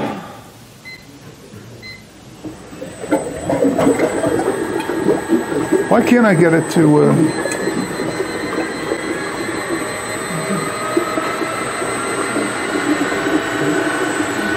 Full speed ahead, Captain. What? Yeah. Uh, white chocolate chips. Don't try this at home.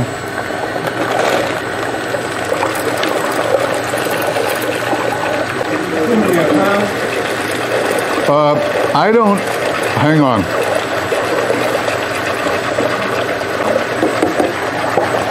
When I add chocolate chips, who asked me that?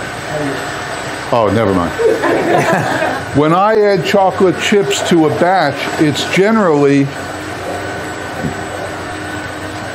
No, I didn't. It's it's generally a quart. Like this is a quart of Heath bar pieces.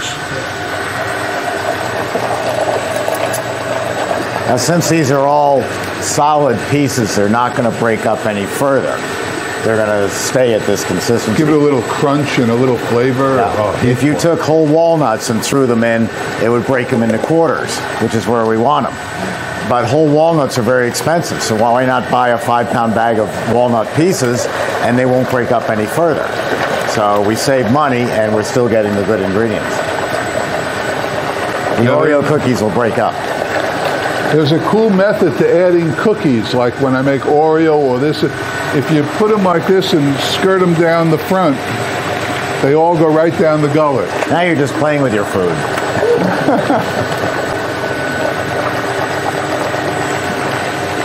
How many should we add? All of it. All of them. That's a good idea.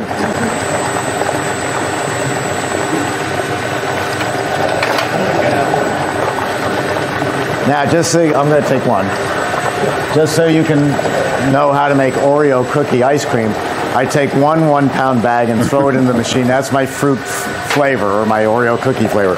The second bag, I while it's running, I just snap them between my thumbs, and I've got four pieces, and I throw that in a bucket. I do that with all of them, and then when the ice cream's coming out, the first uh, box got pulverized. These pieces I'm going to shake in as it's coming out. So I've got my Oreo cookie flavor in the machine, and I've got my Oreo cookie identity. What is this uh, in the ice cream? So you get the best of both worlds. Don't try that with a Carpigiani or a Taylor. Taylor's out of the business.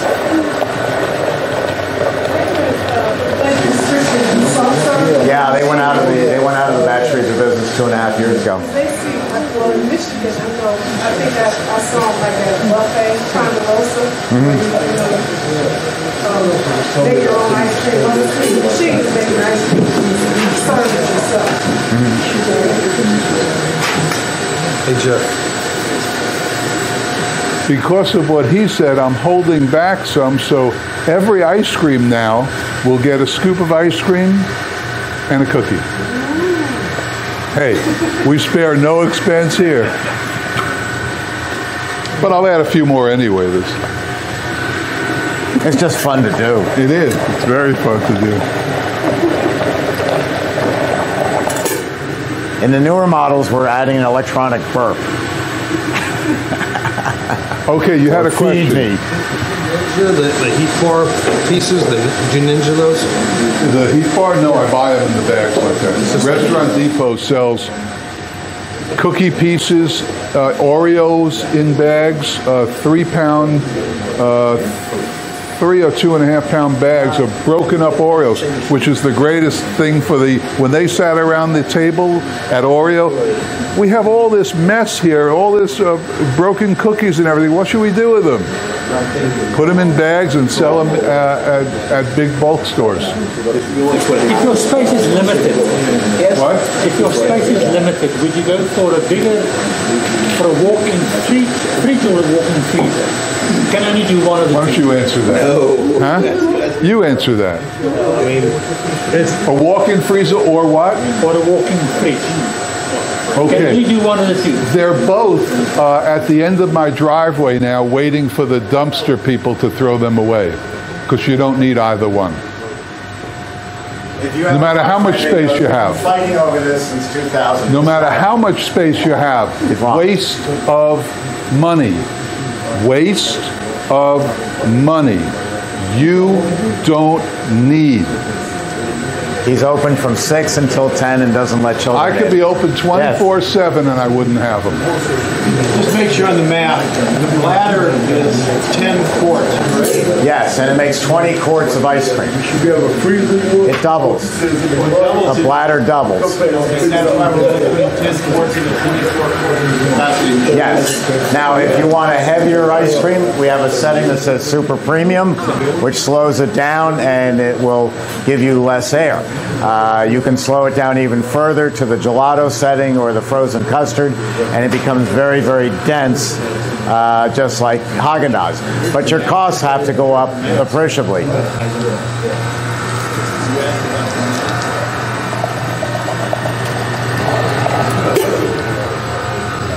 Uh, Daniel, understand that I'm in business primarily to make money. That's my primary goal is to make money. To maximize how much money I'm making, if you spend that much, you're breaking even. The less you spend, the more you make. So useless equipment, a, uh, a 16 a 16 tub dipping cabinet with a sneeze guard on it. Don't buy it. You don't need it. It's a waste of money.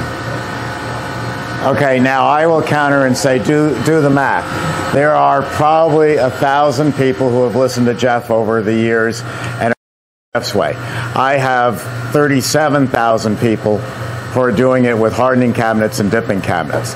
There is no wrong way to sell ice cream. You have to see what's right for you. And I say it depends on the location and how the ice cream's being sold. He has a rush from 6 until 10, and that's it. Your ice cream parlor is probably going to be 11 a.m. till 10 p.m. And it's a whole different ball game of handling the ice cream. There's no wrong answer except his is different from the vast majority of people. Doesn't make it wrong, just makes it different. I'll tell you what. Give me one reason, just one, why they should have a 16 tub display sneeze guarded dipping case. Give Because- me one. Okay, if you catch the flu and are out for a week, you're out of business. What? You don't have any inventory. What are you talking about? You can't. No, we're make- talking about a dipping cabinet. I know, and you're making ice cream all day long because with that dipping cabinet also goes the hardening cabinet, where I'm making ice cream on Tuesday to last me until Saturday. I make You don't 300. I make 300 gallons a week in one day. I know, but if you weren't there to make the 300 gallons for the week, they'd be you had to close the doors. Why? Because there's nobody else. to- Because I don't have an inventory? Because you don't have an inventory. I got freezers with ice cream up the wazoo. Okay, you don't have enough Up the wazoo. Well, we've been dar- we've been talking this one since 2007. But as far do as your the- homework, pick the location that you're doing, and see what's right for you. That's the best way to say it. Let me ask you this question. Not the same one. Both of you. If you're doing a big, you know, we do a lot of big festivals. Yeah. You do a big festival, and you only got like four, six tubs, you're gonna run out fast. Yeah. I do it. So don't you think you should have a bigger unit? Yes. Or have a van with a compressor in We it with that. another freezer. saying- Just say, people like to move fast. You know, they, they, if they not, you don't have it, they gonna walk away. So what we, what I try to do, I try, I try to have it right there so they can have it. Like I'd rather have two vanillas right there with me, or two whatever with me. Absolutely. So I can have it right on stock, so I when know, when they of buy, course. I can give it to them. So of course. you have to have a bigger unit to sell, right? Sure. You won. What? what? How's that, how's that ice cream coming? How about them Yankees?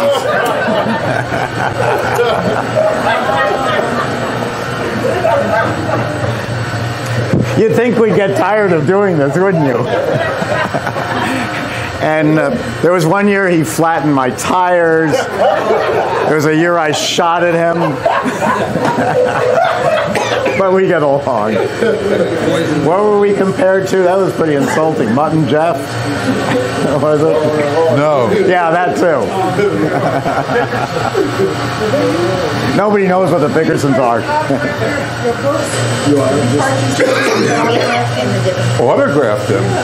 Five dollars.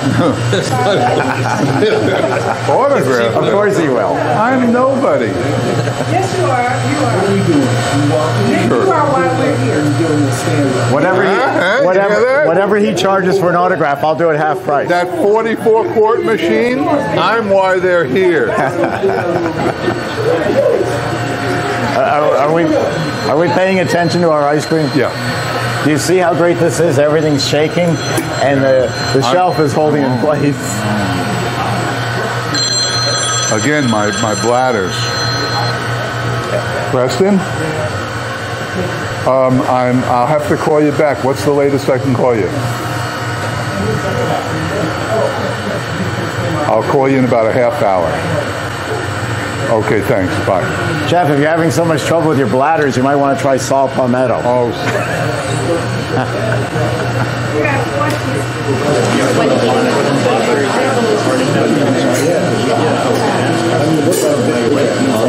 this is good.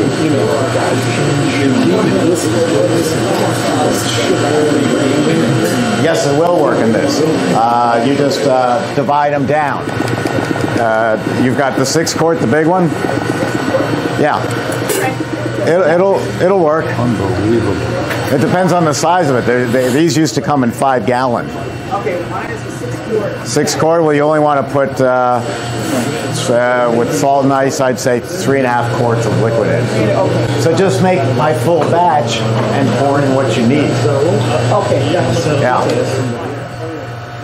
It's the same ice cream, only you'll have larger ice crystals because you're freezing in 40 minutes, we're freezing in 8 minutes. But that's the only difference. The taste will be there.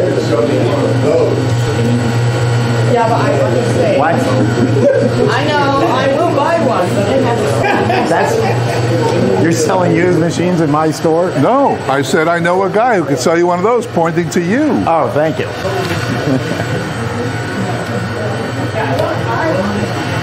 Any real questions? Any not. questions back there? No, they're busy talking to themselves. Any questions? No. Daniel? Daniel? How many people are uh, planning to go into the ISIS business? Into the what? ISIS. ISIS? Italian ISIS. Okay. And the rest ice cream. The rest ice cream. Okay. Yeah, careful how you phrase that. Go into the ISIS business. Oh yeah, right. yeah, yeah, we, we also sell Sam's.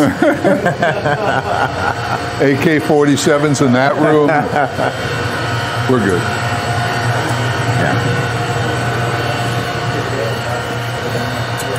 Oh, I have some things to show you. I have show and tell.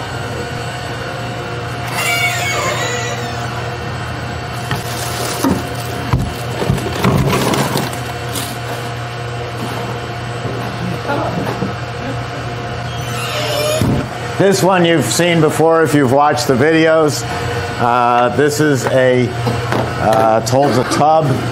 You freeze this down, and it's got uh, some kind of glycol solution in here, so you freeze it, and it'll stay frozen for hours. So you can, if you're running a push cart, you can just drop your tub right in there, and um, that works very well. You can get about uh, three or four hours out of that.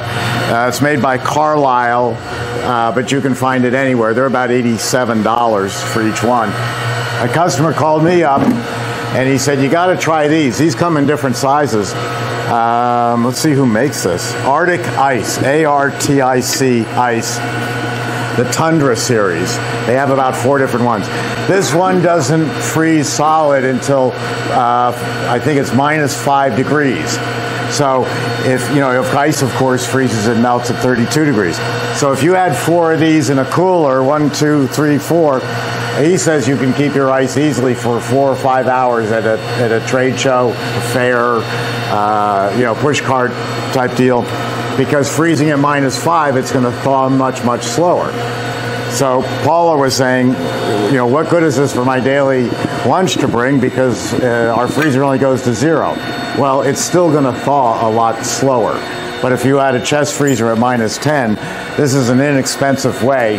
This is the Tundra version of the Arctic ice. You can get these at Amazon. Uh, the price at Amazon is about a dollar cheaper than buying direct from the company. But uh, if you're buying in quantity, you could try talking to them. But uh, we've been using these for a couple of weeks, and uh, I think they're great.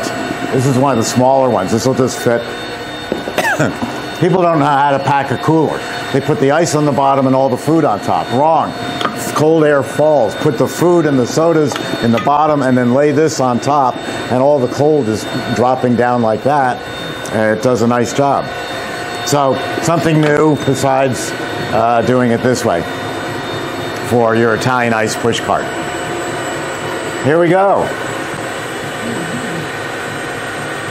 It looks good, and it doesn't look like the uh, any residue that was left in the machine had any effect on the ice cream color. It won't. Because there wasn't enough left in there. Okay. Uh, covers.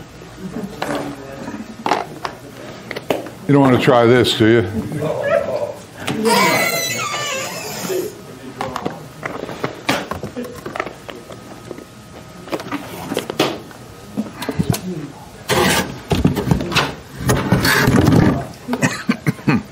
Okay. Okay, let's give it a shot. Come on out.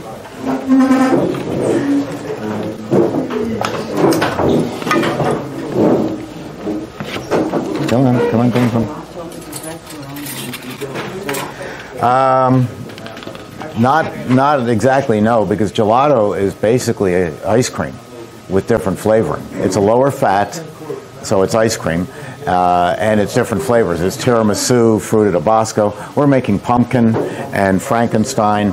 Uh, you could call this Frankenstein gelato if you wanted to. There wouldn't be any difference. I want to get those three compartment things that you have, that divider and the two one. Can I get that from you, both of them today? I don't know if we have them for today, but uh, I'll find out for you. Otherwise, we can send them to you. Hmm? They were this, but the mommies, that's what- when you said dairy-free, I was Yeah. hoping I could get some of that so I could see the difference between that and the mommies. Is it really dairy-free? Yeah, it's coconut. It's coconut milk, cream of coconut, sugar, and that's it. You could formulate it yourself. I used to, but mine used to ice up, so I buy the, the mommies or mammies. Uh, It's M A M I S. Uh, she now also calls it Froco Nut, It but work in this. I called her and asked. She said, no, it'll work in Yes. That's freezers, but it won't work that's a batch freezer. That thing is, It won't work in it, it may not get cold enough. You need, can you do Italian ice? I think I can, yeah. If you can do Italian ice, you can do the mommies. Steve, you agree with that with the, with walk-in freezer? Yeah. You don't, you don't need one. Oh, I think, of course you do. Yeah. Because it's all dependent on volume. Jeff's making ice cream to sell ice cream from 6 until 10. You're making ice cream to sell maybe three times as many people, and so you've got to have three times as much ice cream. So your walk in is your inventory. Uh, I I would love to have a, a walk in because not only would I keep my frozen ice cream in there, I'd buy 50 pound bags of walnuts because the price is better, and I'd keep them in that freezer for months and pull them out as I need it. I'd keep everything in there. Uh, a walk in would be great. Uh, a walk in is just, you know, that, those are hardening cabinets over there that I built for myself. And they're energy guzzlers to keep the temperature. Uh, and, and with the commercial ones, every time you open the door, all the cold's falling out. And what makes it a hardening cabinet, flash freezer, or blast freezer is uh, they're designed. If you take just a true cabinet and set it to 20 below and load it up with all this warm ice cream, the temperature's going to skyrocket up. With a hardening cabinet, it will, or a walk-in, it's going to stay cold. I'm allergic to chocolate. I'm allergic to chocolate. Come on. Not really. You're- Okay.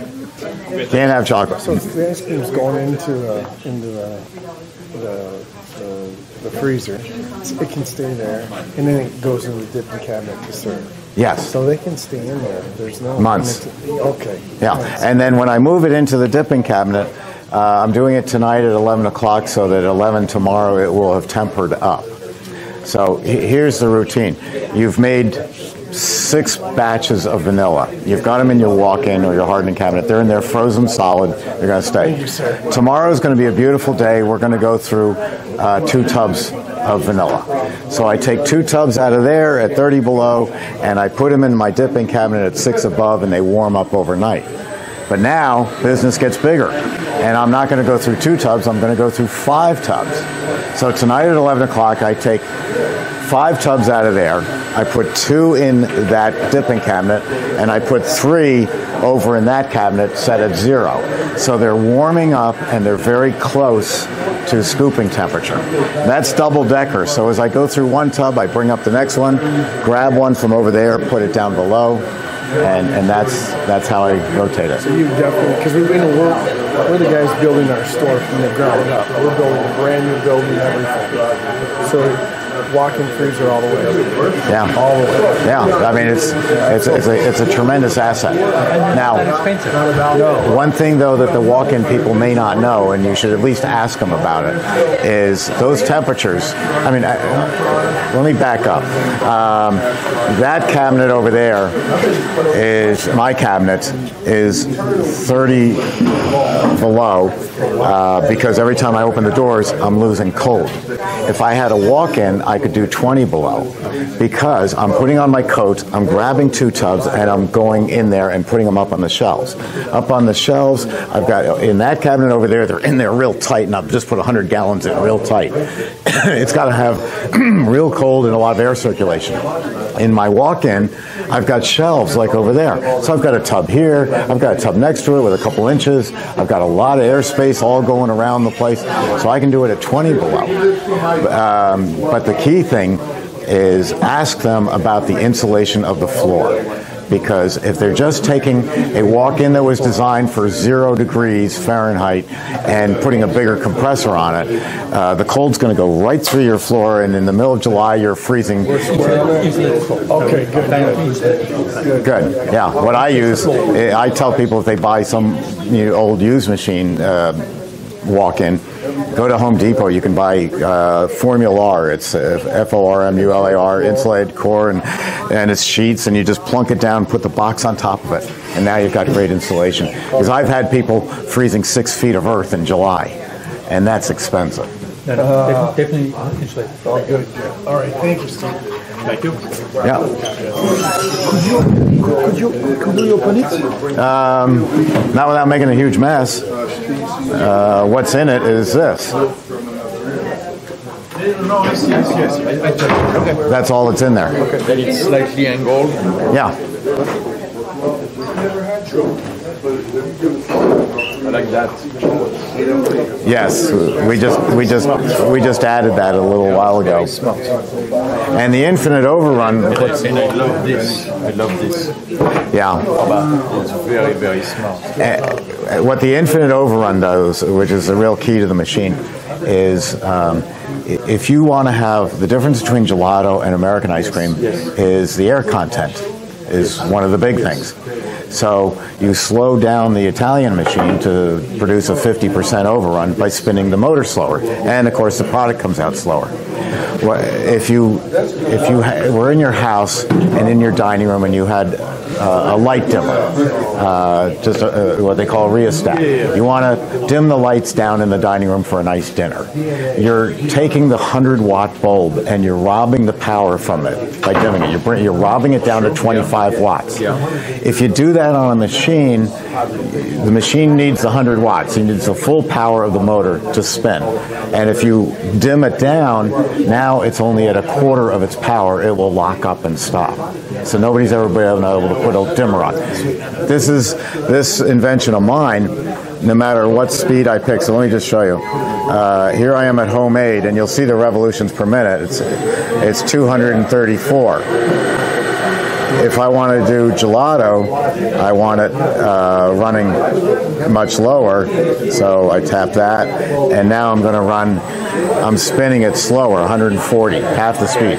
But the power of the motor is the same as if it was 234. And now you, and now you as an executive chef will say, well, Steve likes 140, but I like, you know, 155. so you can move it up and down. And the other thing is, you just made gelato at 140. You're taking it out, and you want to get the last bit out.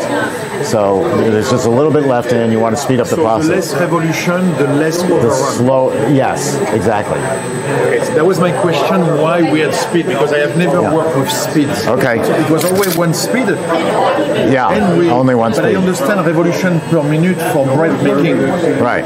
You know, the more, the, you know, your mixer, uh, one, two, three speeds. Yeah, if this was cream, Yes. and I have a whisk, and I stir it like this, it's going to remain cream because I can't stir it fast enough. If I then take an electric mixer and put it in here, now I have whipped cream. So the slower I spin it, the less air. The faster I spin it, I'm getting more air. So it's not necessarily time of spinning. That's right. It's speed of spinning. Speed of spinning and not time of spinning. Yes, because uh, dairy is fat cells, uh, unlike uh, sorbet. Sorbet will expand as much as water will expand. If you if you have a wood boat and, and the lake freezes, your boat's going to get crushed because water expands. Uh, that's normal expansion. But dairy product are fat cells, and they blow up. They blow up so much that we have a legal limit in the United States of 100% overrun or double. One gallon in, two gallons out. So, okay. Revolution per minute. So in one minute you have 145 or 234. So. And everything in between.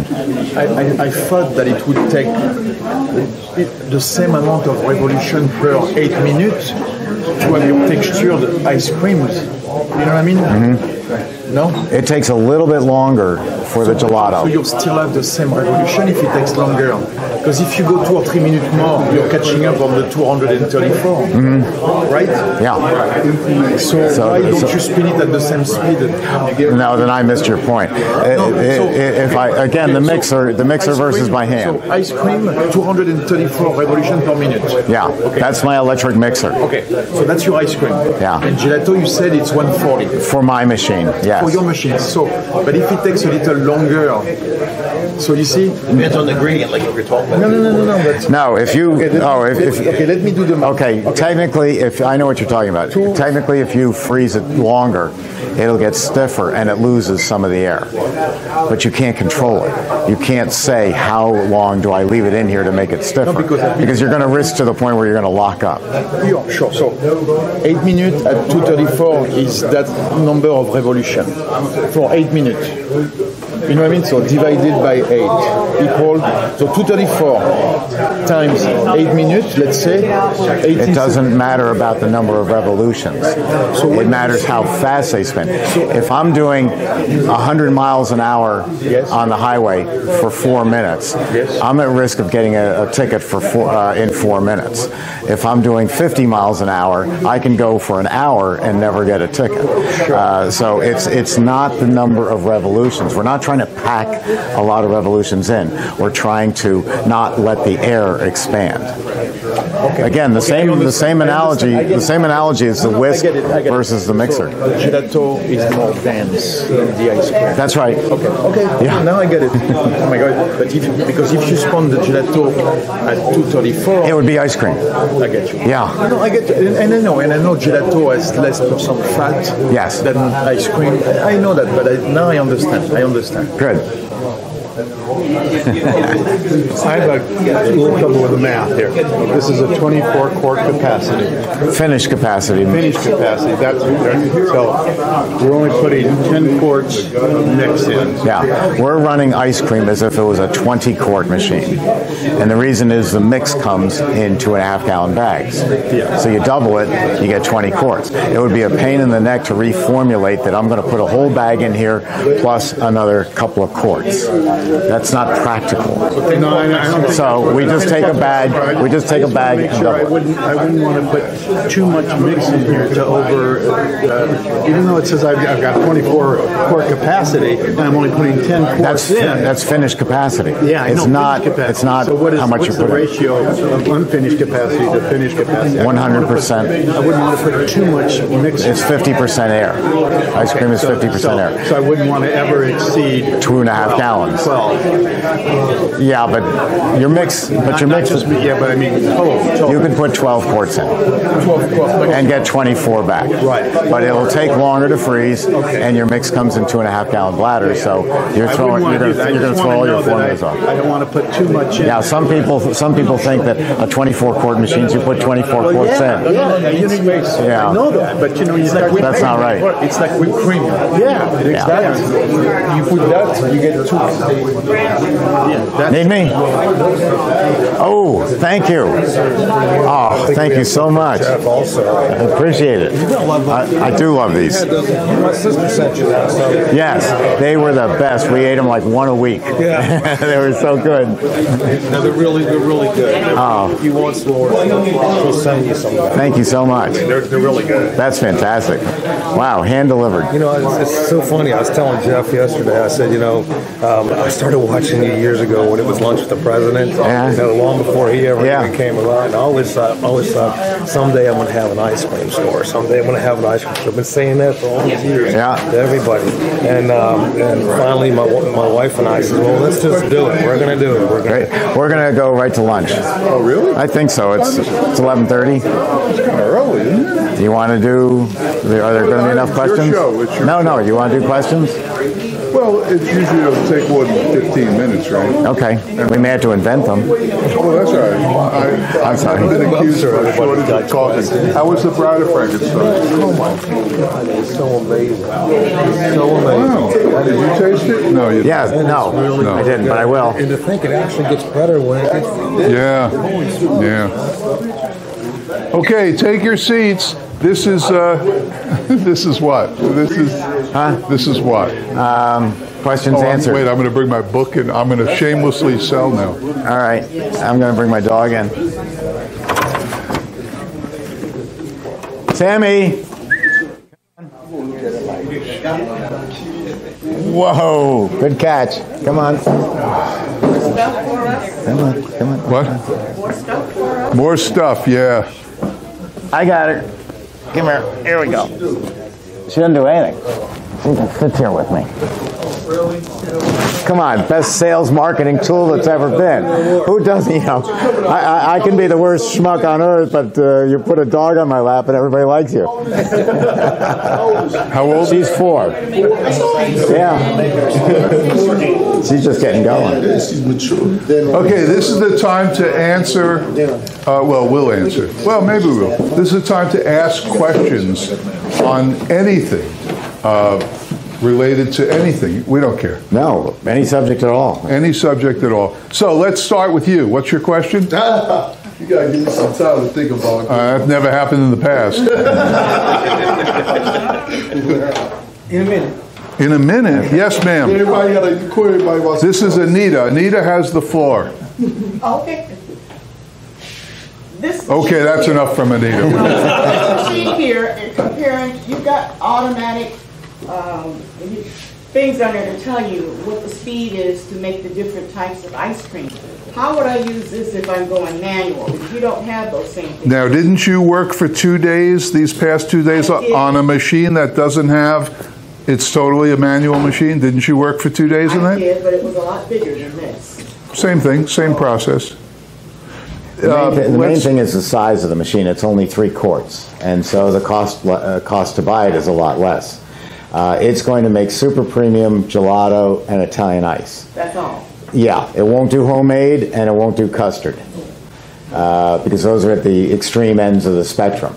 But the products that you want to get, a, a real high quality homemade ice cream, the Italian ices, uh, gelato if you want to do it, uh, this is the ideal machine for it. We, we picked one speed and said this is what it'll be. So uh, it'll work just fine for you. Now, you said it won't make custard. Isn't custard a, a, a product of the ingredients? No, it's uh, well, yes, it's got it's ten percent fat, uh, rarely twelve, Egg yolks. and it's got uh, I think it's three point five percent egg yolk by volume. Right, but it's a slower speed. It's a, it, and it's a yeah, it's a very very slow speed, so you're putting almost no air in it.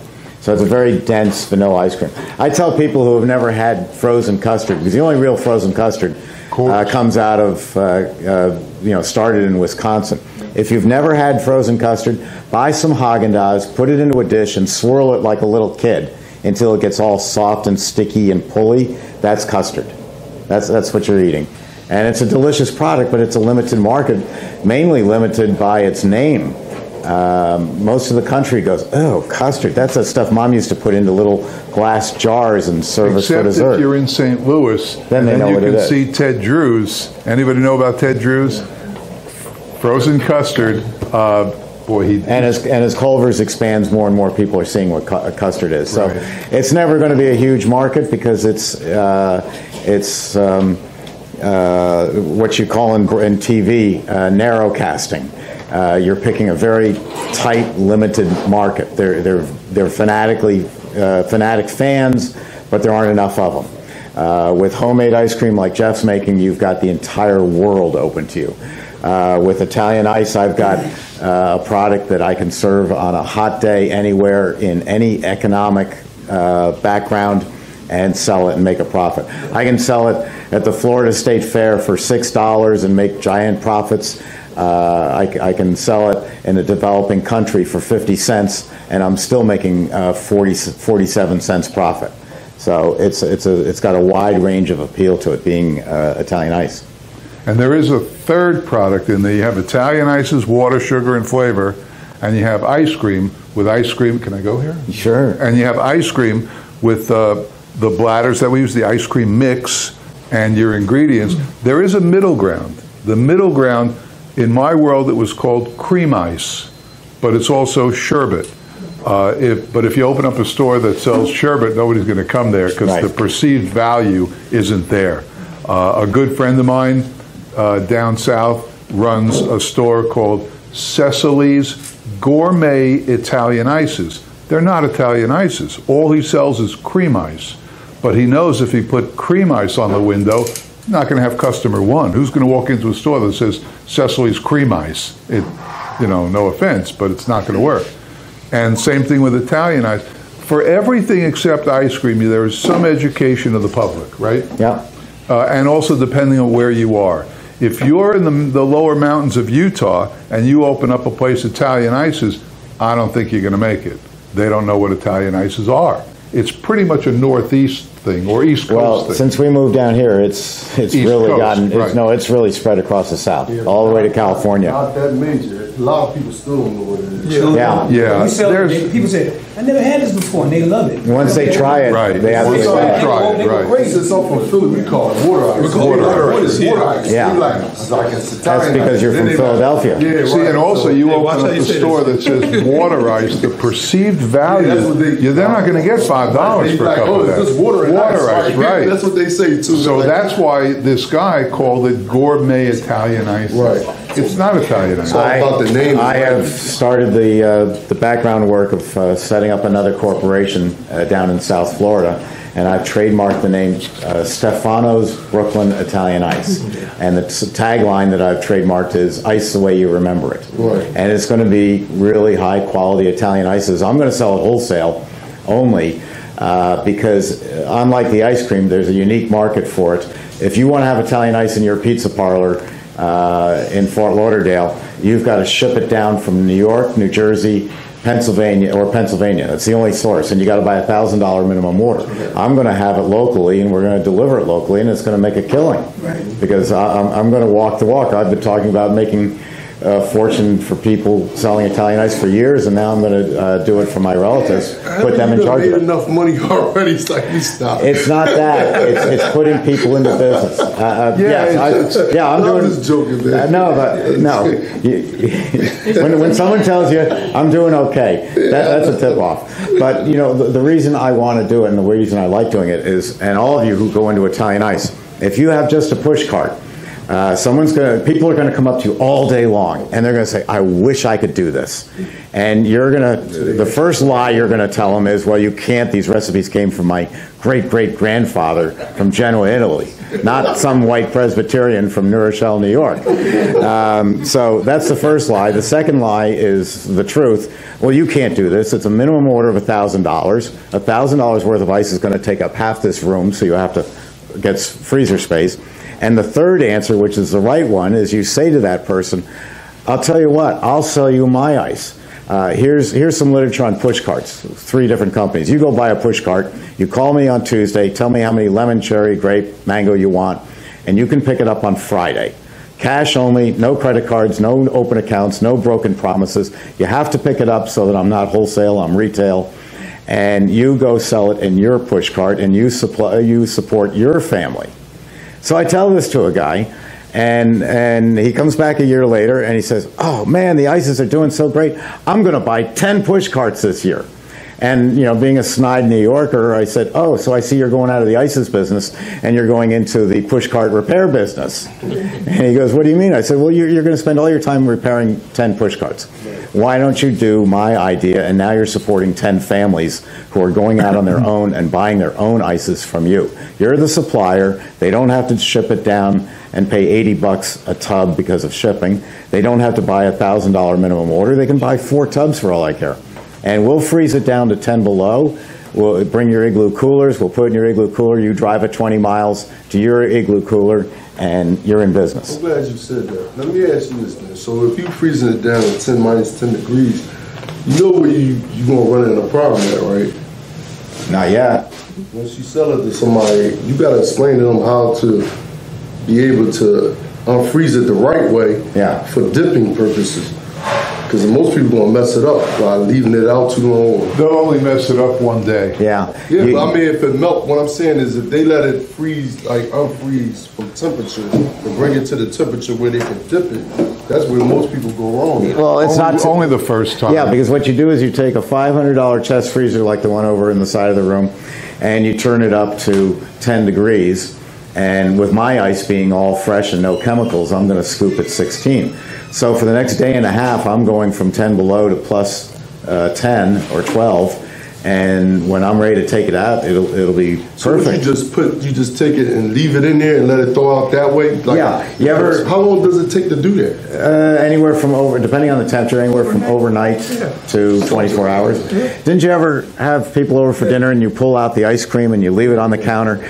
And women, ladies, did you ever why, wonder why your uh, spouse, who won't do a thing in the kitchen, is so happy to scoop the ice cream? Because we know it's all melted around the edges and hardcore in the center. We're eating all the edges uh, while we're scooping the center for the guests. We're getting a double duty of ice cream. We're very conniving. Yeah, I've seen some people do that, right? And then it melts from the bottom. Then they left with the ice at the top. So then it, the flavor drops. The sugar. It's, it's all about the drops. temperature. Uh, whatever your scooping temperature is, take it to within Yeah, five to I, I know degrees. what you mean. Sometimes when I was a kid, you would buy the little cups in the in the grocery store, supermarket, in the frozen area, and when you scraped it, what did you really want? The junk at the bottom. But, but, but that's, that problem is because of trucking it down from New Jersey. Correct. Because the trucker is carrying uh, Little Jimmy's Italian Ice. He's also carrying DiGiorno pizzas and Publix green beans or something like that. So they're all coming down the Jersey Turnpike frozen. He's worried about his uh, uh, uh, uh, diesel bill, so he turns off the reefer for three hours. The green beans melt a little bit. The DiGiorno pizza melts a little bit. Who, who cares? They'll refreeze and they'll be back the to where they were. But the, ices- the ices, the flavor bleeds to the bottom of the can. Right. So it's just a matter. We call it tempering.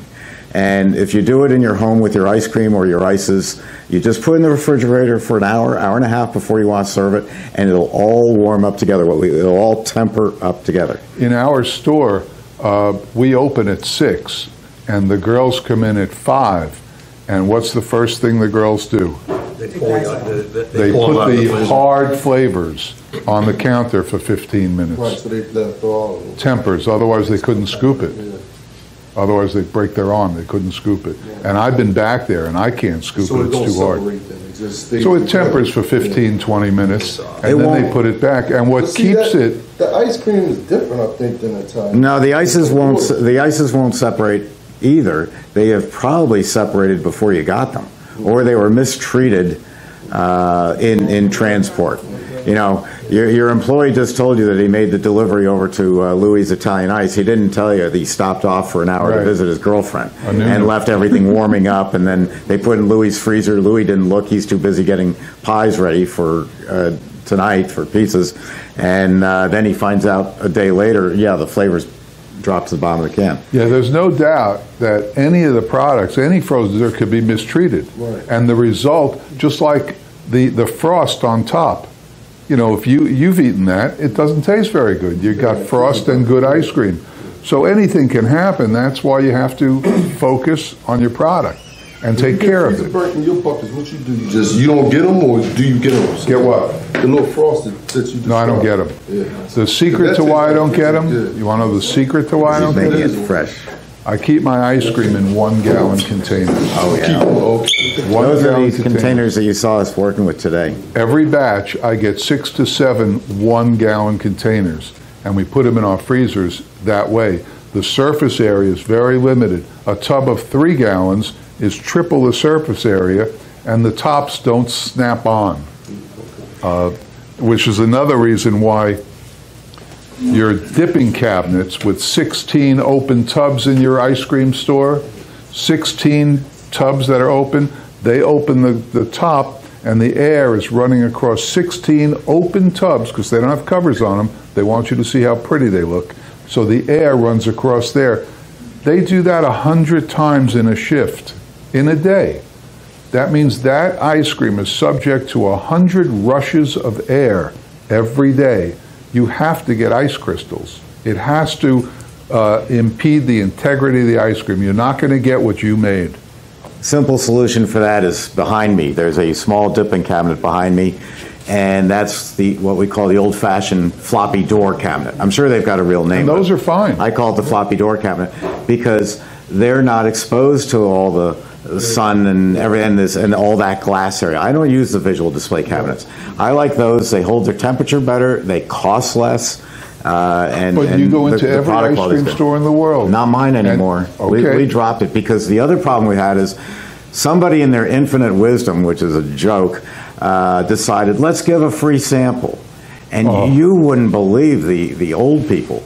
They come in and they get a sample because they found out you can get a sample. Well, let me try the mint chip.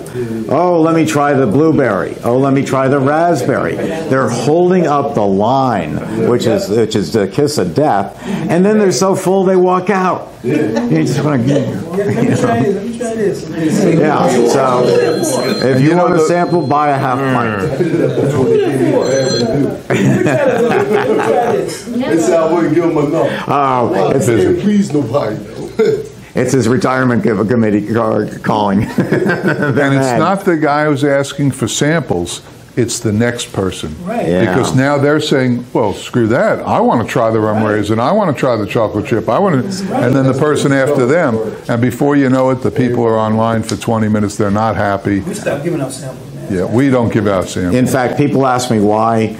uh, What about pan ice cream, Thai pan ice cream, where you put the, the dairy on there and you scrape it? You know, it's kind of fun to watch. Or the uh, night liquid nitrogen ice cream. Uh, they're both doomed to failure, and they already have. And the reason is, if you watch a, a YouTube video on them, it takes about six and a half minutes to serve one customer. Six and a half minutes times 10 customers, that's over an hour. And I'm not waiting an hour for anything. Do they charge more for that? I don't know. Because basically that's what it is. But It's a it, but it didn't. It, it's a nice show once, but then it's it's doomed to failure because once you've seen it, you're not going to wait an hour. And the nitrogen in Houston, those nitrogen stores, what seven ninety five for a small one, Mm. and it goes up to over almost twelve bucks for a large one, and then and then people were like waiting in line. They they they go up there, they order, they take their money, and then they go sit out, and then you're gonna have to go wait for your ice cream. For And hope they don't lose you. and, and if you Google that nitrogen ice cream, if you Google that information, because Mary Googled that, and uh, there's so many people out there that's gotten sick and gotten hurt from eating that because Yeah. because if that nitrogen actually gets in the ice cream, and sometimes it does, and you eat it, it can expand in your lungs and hurt you. So that's that's a bad deal. Bad deal. Okay, two quick shameless plugs. Come, Sammy. Shameless plugs. We love Shameless plug number one. You know, didn't he run an? I got one question. I'm trying to make a living here, buddy. But shameless plug. He used to run an Irish bar in Manhattan. What what dyes do you use in your Italian ice? Do you use dyes? Dyes? Color color dyes. I do not. But if I did, oh. I would use Green Mountain flavors because they're all natural. Um, but I try not to use dyes. I'd rather explain to people why my product is pale pink instead of bright red. And if you ask a millennial, they already know it. They look at that and they say, "Oh, okay, that's good. I don't see it as bright red. Another reason against those 16 tub plastic top cases, homemade ice cream is basically Bland. beige. Yeah. It's basically beige, except for the chocolate, beige. So it's not visually appealing. What they do is they add colors to it so that in, when you look at the 16 tubs, ooh, green pistachio and bright red cherry and Superman has three colors and on and on. Ours isn't like that unless we add fake colors, which I don't want to do.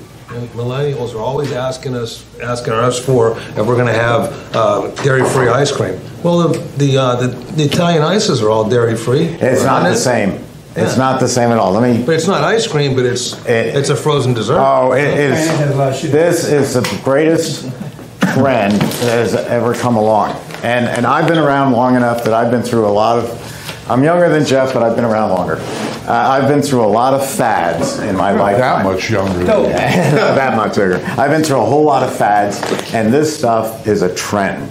What it is is uh, I have four millennial children. They're all uh, very well doing in business, and um, uh, if they come for Christmas dinner, I'll serve them Haagen Dazs or Ben and Jerry because they grew up on it. It's what we we put them in business. But in their own refrigerator or their own freezers in in uh, Denver and New York, uh, they're going to not have dairy ice cream. For some reason, the millennials have decided they don't like dairy. I spoke to one once and then decided not to talk to him anymore because they said they thought it was uh, just awful that uh, people were, you know, squeezing a cow every afternoon at four o'clock. And I said, you try going eight hours without going to the bathroom and see how you feel. Of course, that went over like a lead balloon, so I don't say that anymore. Uh, but they're not huge fans of dairy. So uh, I heard about uh, vegan ice cream, which is what we called it. And, and I repeat myself, but vegan sounds like an 87 year old man who weighs 87 pounds, and you just want to buy him a good Ruth Chris steak because he looks so awful. Um, so vegan is not a good term to use. So, so millennials in Southern California came up with the term dairy free ice cream. It's an illegal term. Breyers can't use it because ice, the words ice cream, by defined by the federal government, is 10% fat or higher. But if you're a pop store, even if you're 10 mom and pop stores, they're not going to come after you. If you're Breyers, you have to call it dairy free frozen dessert.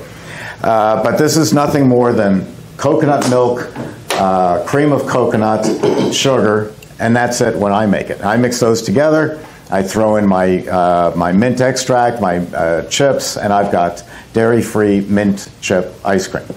Mine, after two years of practice, always comes out rock hard and crumbly and awful. Uh, Naomi Posner came up with this product that she uh, originally calls the name, um, she pronounces it Mommy's, which is Italian for mother, but it's spelled M A M I S. And she is also using the name now Froco for frozen coconut. F R O C O N U T. Same stuff.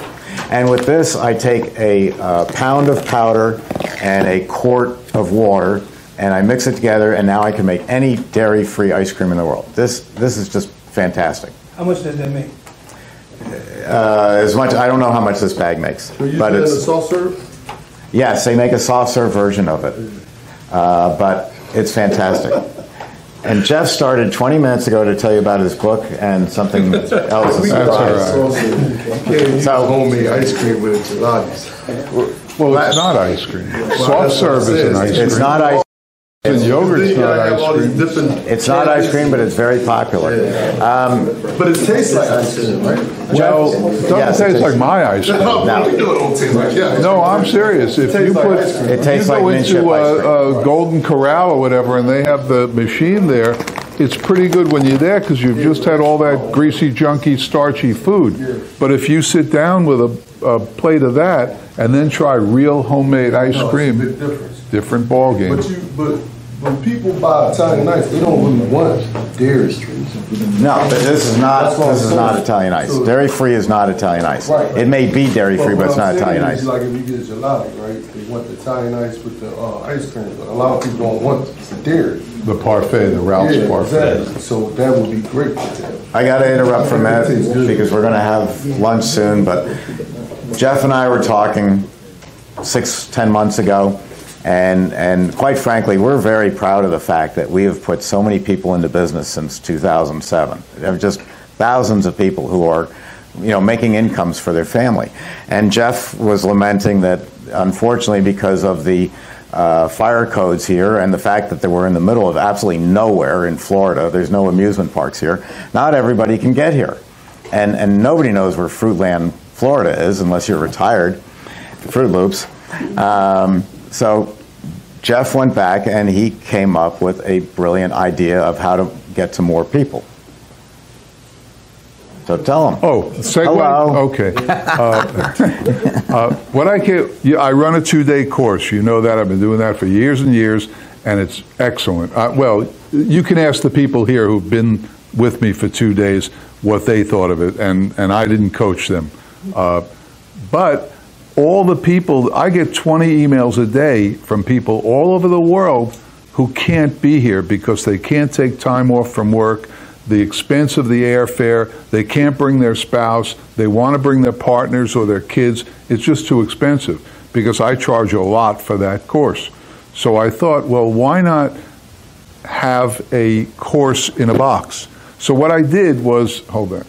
What I did was I had a videographing crew, a video crew, come and videotape all 20 hours of the class three times, which we do every other month.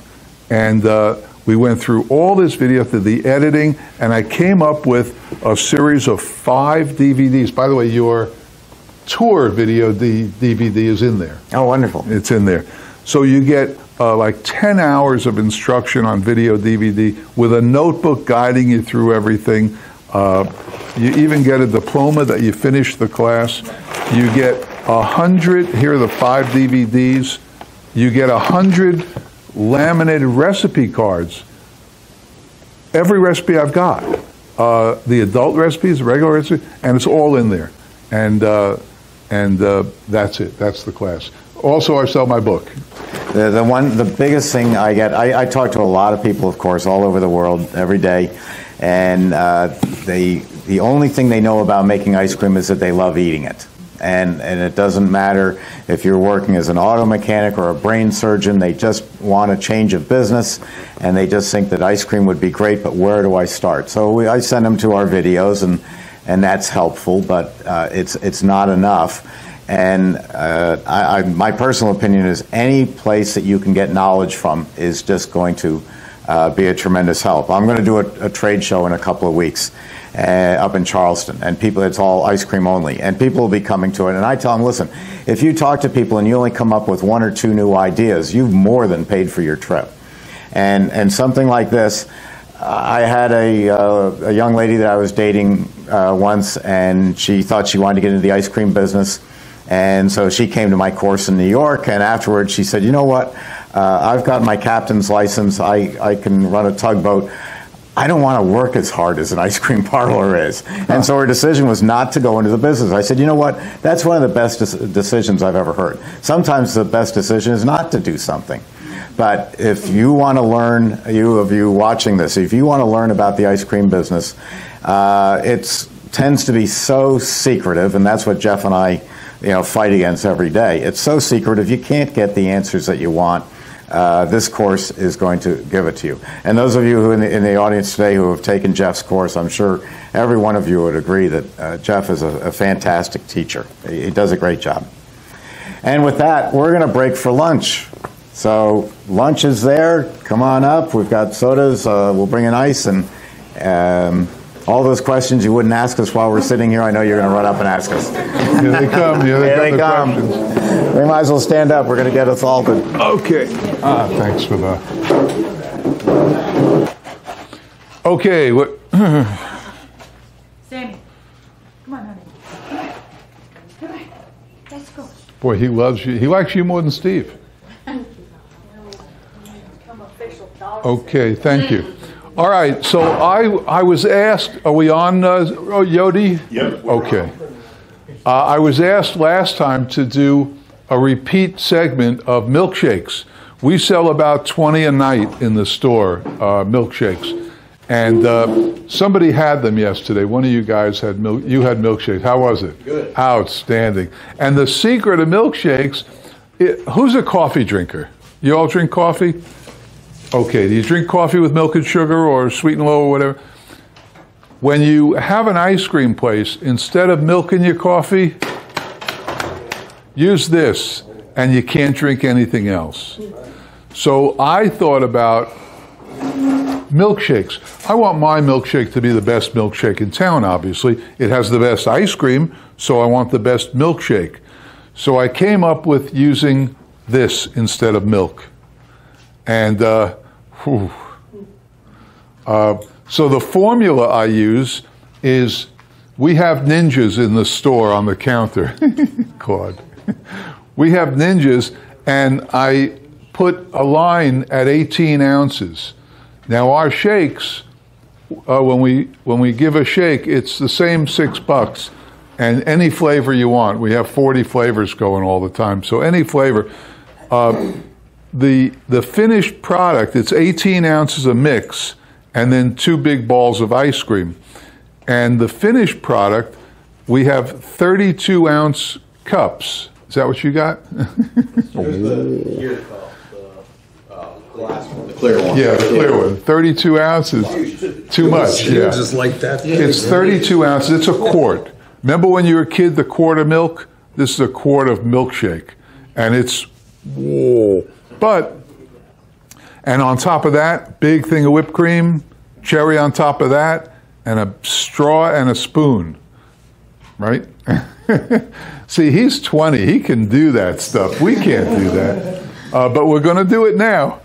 Uh, so this is what we made before. This is the first thing this morning, Frankenstein. I figure we use that. I don't know what else is in there, but we'll start with this, uh, and we'll see how it goes. Okay? Anybody wants a milkshake? We'll see how this is.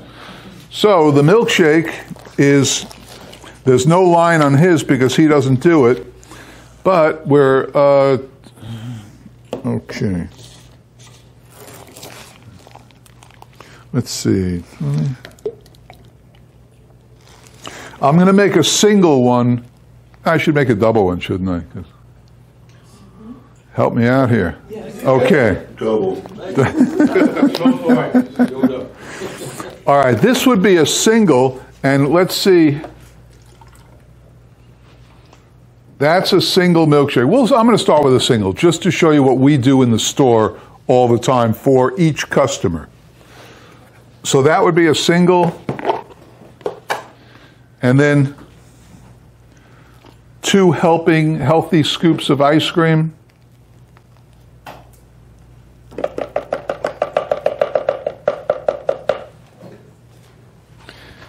And uh, that's about it. If they want a malted instead of a milkshake, we add a teaspoon of carnation malt powder, which is the standard in the world.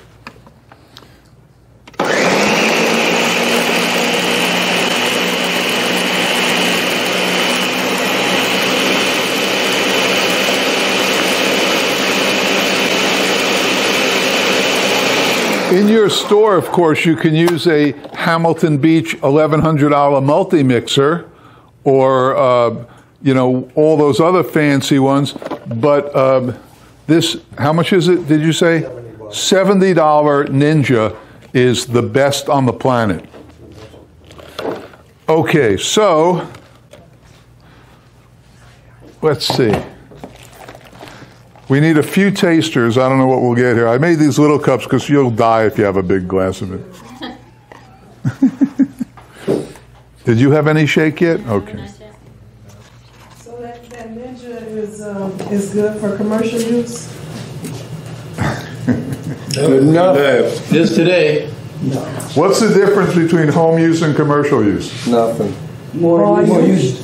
Volume? No. Well, we make 20 shakes a night, and our Ninja so far has gone on seven years. I bought four of them at a flea market on sale because the guy was selling them, and uh, I've still got the other ones left over. Okay.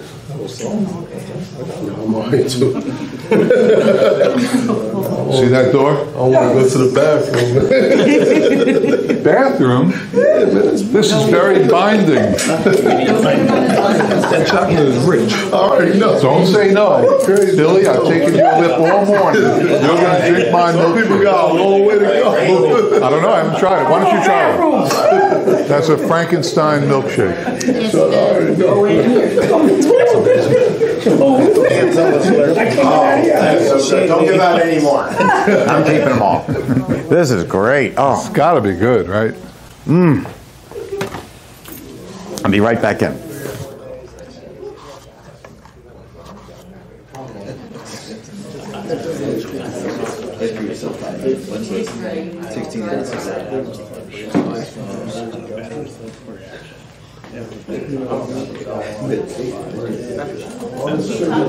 Russell Stover and I don't get along.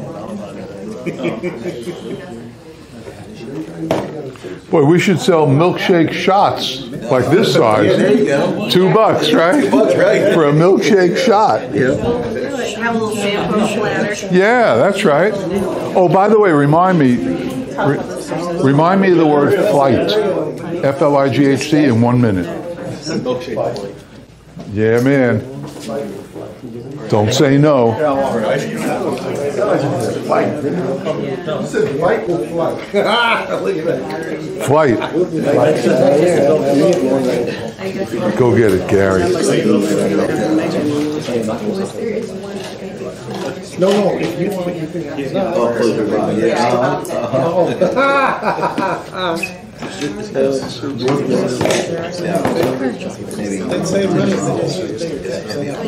I know, right?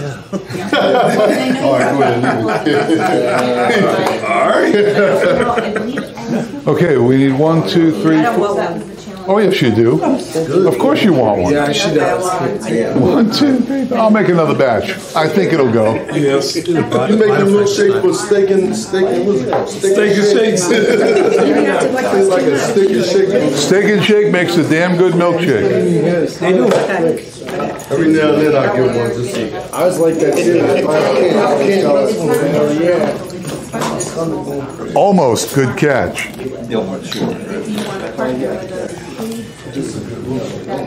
want to know if he has his employees pulling out the ladder every time. No, they haven't. What do you want to know about my employees? What? If they have to pull out that ladder every time they want to make a shake. No, we. You have it Good some girl. place. You have it in the picture. The girls. What do the girls store these in? In, um, Washington. Arizona. Arizona iced tea buckets. You know, with the screw. Perfect. I only know five percent. But you know, you should label those things. Why? It's only got mix. I know. People that open your fridge Yeah, door. he's. What? We were just saying if you open your fridge door, it looks a little funny with the water. I don't worry about it. I don't worry about a lot. Mike, did you get any yet? No, sir. Mike, would you like? Mike said yes, sir. I understood. Mike, you said that real fast, Mike. Mike, can you leave the board for a minute? Yeah, that's a lot of fun. I mean, it's cool. I was smoking a lot for a long, long time, but I'm about it. No, he'll make an exception. Hey, Mike, is that your brother? All right, you get a big one.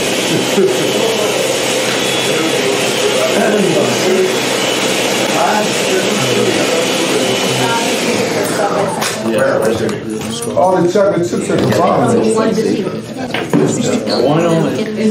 There you go, Mike. They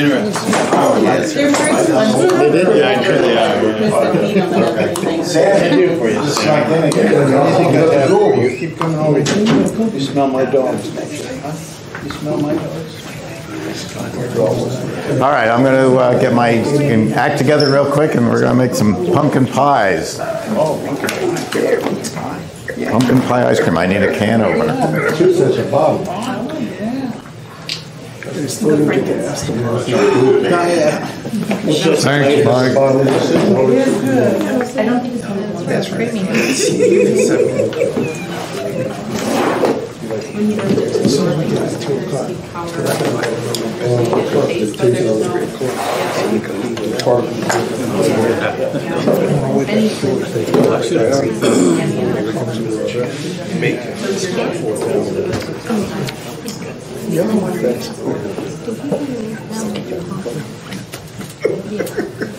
got your number, don't worry.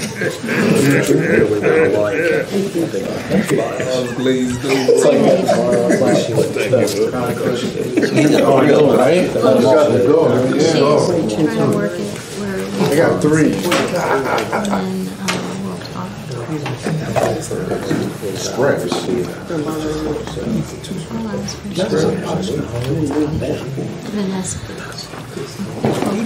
Anybody?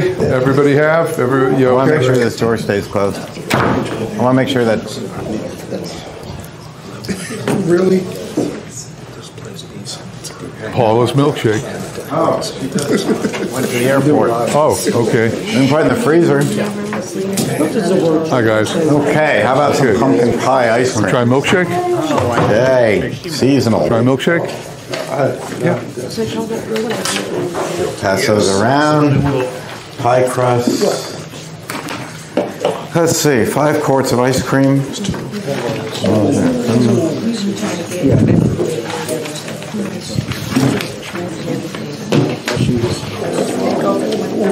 Well, I'm gonna use this I'm going to put this away. You know, I could sit down with a spoon, Steve, and just eat this. Mm-hmm. I mean, who said I couldn't? How much money you got in your pocket? Eat it right now. How much money you got? What? No way. You got to be kidding, really? It's a gallon. It's a gallon, and I can sit down with a spoon and finish it. Don't tell me I can't. Jimmy, I can do it. All right, double dare 'em. Let's put some money on this. That's what counts. This, this, this, this show, I wouldn't be able to finish it. Oh, yes, I He'll can. be doing the show. We will.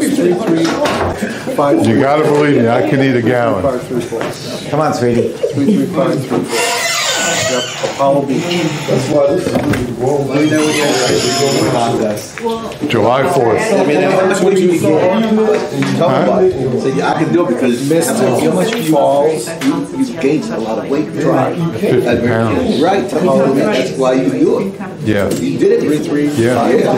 I won't do it now. I don't, want, I want my 501s on. I want to wear my, my Levi 501s. And you just told her the cheapest possible. too much. They got cookies, you got chocolate syrup, you got all this. You gotta taste it. Every batch you gotta taste. it. How many calories do you consume a day? You ready? You ready for this? You ready? Oh, I don't eat ice cream. So how do you know what it tastes like? I mean, you seem like you were passionate about what you make. So tell her how How do you know if you don't taste it? You taste it. You taste it. You say, "Oh, you say this needs more." Do you think about walking when you go down Well, the I had a street? can opener. No. You don't think about Well, walking. you- all right, so it's just routine. I know my recipes. But I, I, like today we made stuff here, I tasted a little bit of each one. But I didn't eat near what you ate. but you know what they're saying now, right? What? They dumb it down the um the ingredients that you're putting in, like the companies. They're not as putting as much uh, ingredients in it. Why not? That's what they said. Like, a lot Who of said that? A lot of people saying that. Saying what? Like our rice, they, their base don't taste like it did six months ago. I wouldn't know that. I never I'm used saying, their so stuff. I'm just using that as an example with the rest Wait, where's it going? I don't know, so don't ask me. What was the last thing in there? Do I need to rinse it? What are you making? Pumpkin pie? Absolutely not. No? Nope. Okay. Oh, a 20, a 24 quart, huh? Look at you. Well- Oh, that's because you want to keep some of this around for the holidays and stuff, right? Yeah. I hope I have enough. You want me to do that? Sure. Yeah, I figured you would. Well, I'll start. Why don't you get a good can opener here? I'll tell you which one's Well, to Paul. Um, okay, so I'm gonna add the ice cream mix into here. Right. Now, you're 36 ounces, you're one quart short. You have nine in there. That's fine. I can, I can afford to be one quart Your short. concentration. Yeah. So, so how do you know? That's what I'm saying. When you gotta take it. But the other thing is, By the way, when you're making holiday ice cream, he, he was smart. I'll see you, Bill. Just Get text me. all pumpkin, 100% pumpkin. Don't buy pumpkin pie filling. Looks the same in the cans. Just get real pumpkin. This is 100% pure pumpkin. All natural, no preservatives. You got one can up there say organic. Well, that's because of my wife. And what's the difference the cost. No, I'm just curious if there's any ingredients. No, I don't think they know because the ingredients are just pumpkin. Ingredients, organic pumpkin. This one, ingredients, pumpkin. Some people. Okay, so I've got my mix in there and we're gonna put in the pumpkin. Uh, let me get a big spoon.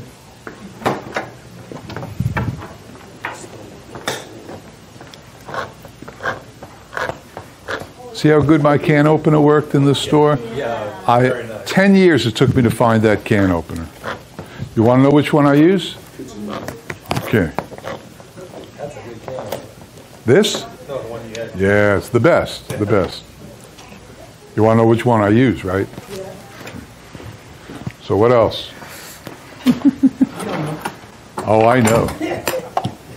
What brand was it?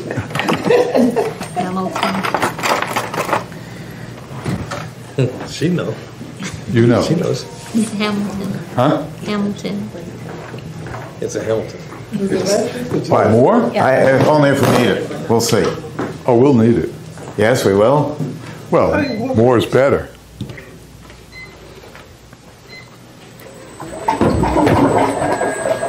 So those two guys left, right? Yes. Tell the class who he was. Um, he flew in in one of his aircraft. He owns most of. Uh, well, no, I don't want to say that on tape. Okay. Sorry. Okay. Sorry, I can't tell You you. need, here's a spatula up here for you. All right. I got it. Go ahead. One of those aircraft. One of them. He borrowed mine. there we go. Yeah, but he but he landed at my airport.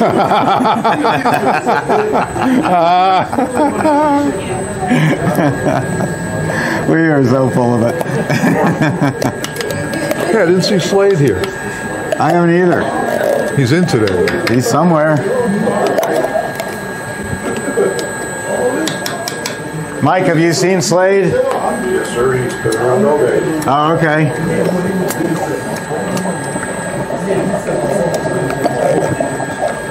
You want to tell me when to stop? Oh, I don't, what is your formula? Uh, how many ounces are those? 21? 15. 15. And we've put in one, two, three, four cans. 60? 60 is uh, uh, 16, 32. 60. One more can and then we'll try it. That'll be four pounds. That's what my original theory was. What, four pounds? No, four can. Um, these many cans. These many. hey, whatever happened with that scoop that I badmouthed? I haven't tried mine yet. No good, They won't huh? use it. They won't use it. Wow. Beautiful to look at, though. Yes. What else you putting in here? Some cinnamon, maybe? Yes. Just opening it up.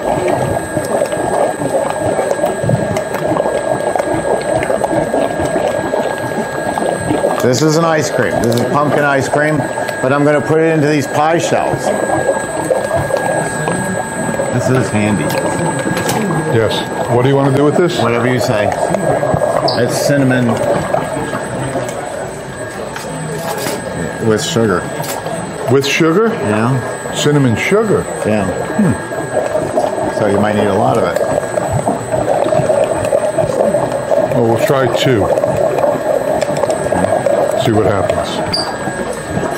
Anything else going on in this?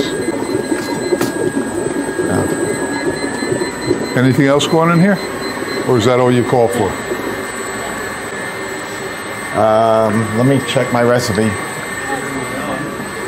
Oh yes, a little vanilla. Okay. A splash or two.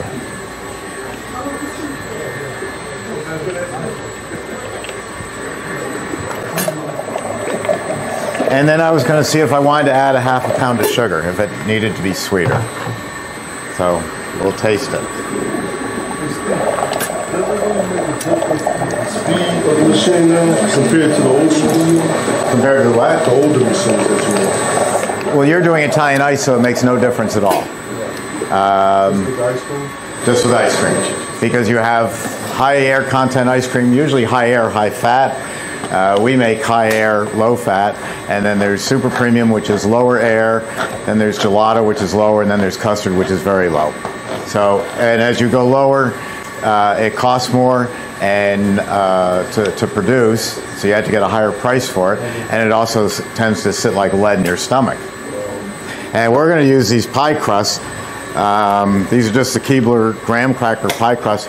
I thought it would be a good idea the first time I made this to freeze these because, you know, it's cold. Well, no, if you freeze these without putting the ice cream in there, they crack. They just crumble to death. So leave them at room temperature. The nice thing about this is we'll not only have uh, the pie shell for the pumpkin, but we can use the plastic uh, as a lid when it's all finished. And these are great to sell in a retail That's store. how they make them for that. Yeah, probably. and um, you can even leave the advertising in. Um, but these are fantastic to sell. Do you want to try it and see what you think? Try what? The ice cream? I did. Yeah? That's why I'm adding more pumpkin. Oh, okay. Um, the nice thing about these, let's say you get $20 or more for one of these pies, uh, people really feel like they're getting their money's worth because, you know, after dinner, you cut a slice. Uh, if you're like me, 11 o'clock at night while everybody's gone to sleep, you come back out and you cut a quarter inch slice. And you can take quarter inch slices, you know, for several nights and no one's ever going to notice. And they say, oh, where'd the pie go? Well, you ate it for dinner. So, like I said, us men are conniving. We're always thinking, but only about food, or food and one other. True. Any questions so far? How many does it make, Steve? I see your recipe here. Um, how many of them pies would it make? Oh, I didn't buy enough, so No, I, I know. I don't know the answer to that because Oh, I've got oh. five gallons Oh, okay. of ice cream. It would have made a lot more. Yeah. Thanks. What did I do with that other? Oh, here it is. When I'm looking for these, I'll move to see you. All right, I'm going to start the refrigeration.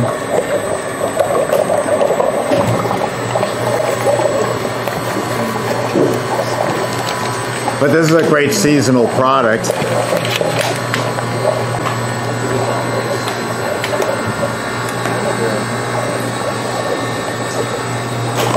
Oh. We recycle these too.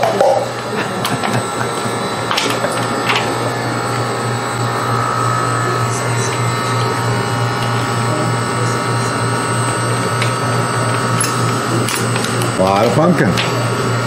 Pumpkin is a subtle flavor. It is. That's why we may need some uh, additional sugar. you use some pumpkin extract? Uh, I'm not using pumpkin extract. I used uh, pumpkins. Um, you can get cinnamon. You can get cinnamon sugar, which is cinnamon and sugar. You can get uh, pumpkin spice. There's a lot of different things you can do with it. Uh, we're just trying this this recipe for the first time, so uh, we'll we'll critique it.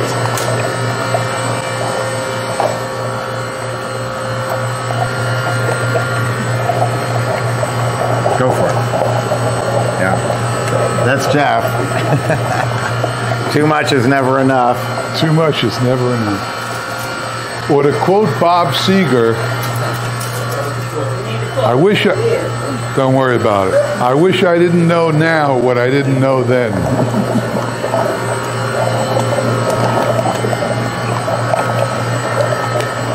That's good. That's real good. That doesn't need sugar. Do you think? I don't. Okay. What, what would you do? I would add more. Of that? Yeah. Go ahead. Can't hurt. Go for it.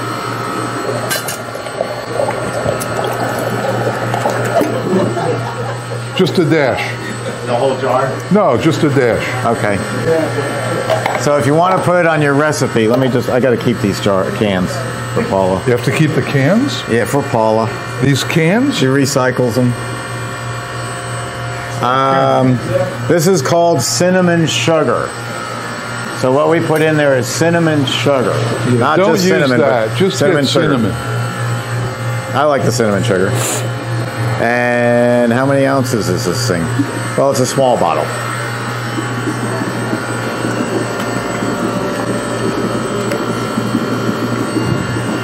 I can see you're all falling asleep.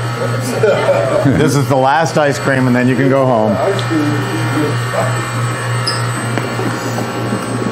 You know, did you ever think you were going to come to a class and say, no, I don't want any more ice cream? Jeff and I used to actually ask people, we'd say, hey, how about we make one more? They'd all go, Ugh. you know, so we kind of learned, don't ask. You recycle this too? Yes, yes. And I bet the organic was Paula, right? Of course. Well, I bought it for Paula. Sammy's having the organic. In your store, when you're running them off, they make these pie shells with graham cracker crust or Oreo cookie crust. They're 99 cents at our friendly Walmart. And if you, it's a piece of cake to fill them, as you'll see. If you fill off a couple every time you make ice cream, throw them in the freezer and sell pies for 10 bucks. You're good.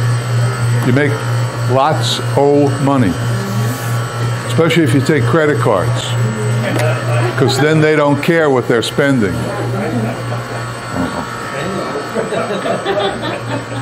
We got a bingo. Brilliant. Brilliant. Next year, what am I going to do with all the money? I don't know, man. Jeez. Might have to buy an airport like you did. Unbelievable. Why is this here?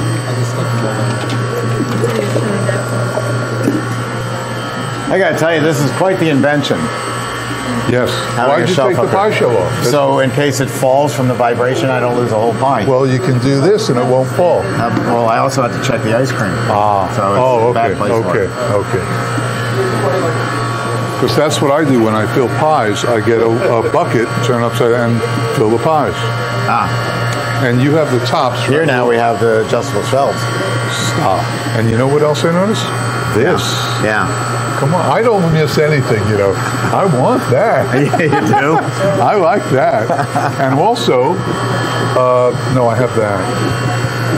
But I, I like this. Why'd you do this? For for feel.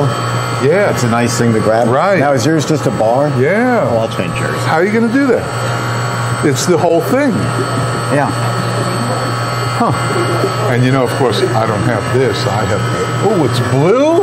When did you do that? Isn't that cool? When did you do that? It's just for the smaller machines, but it's from the. Uh, I took it from the uh, '57 Chevy. I have this on my machine. I don't have this. I have this, but mine isn't blue. Oh. Mine is just blase chrome. Oh, okay. Blue is nice. Your 24 has that? Yeah, you I got to ask them why they're putting this on. You put it on for me Yeah, okay. when I when I bought the machine in the back.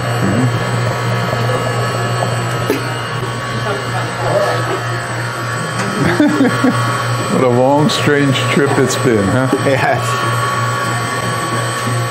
Be right back. Any uh, Q and A? I'll provide the A. Question. Why are You we provide using the yes. What's the difference between custard and um, soft serve? egg yolks. And it's made at a slower speed.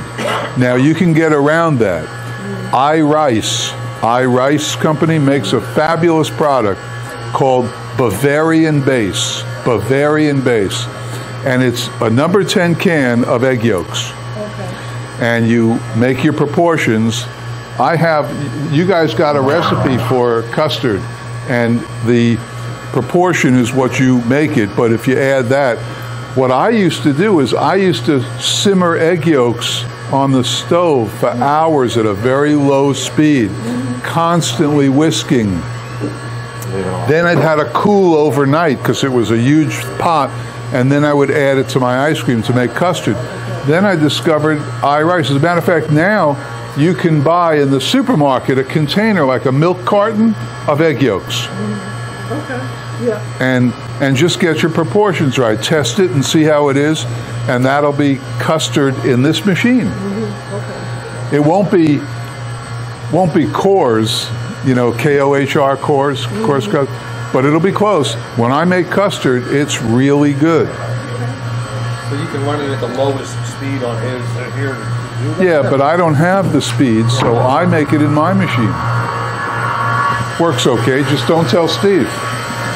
Oh, That's funny. I just said that to Mike. I said, Don't tell don't, Jeff." don't tell Jeff. All right, how we doing? There was a question for you. Anybody?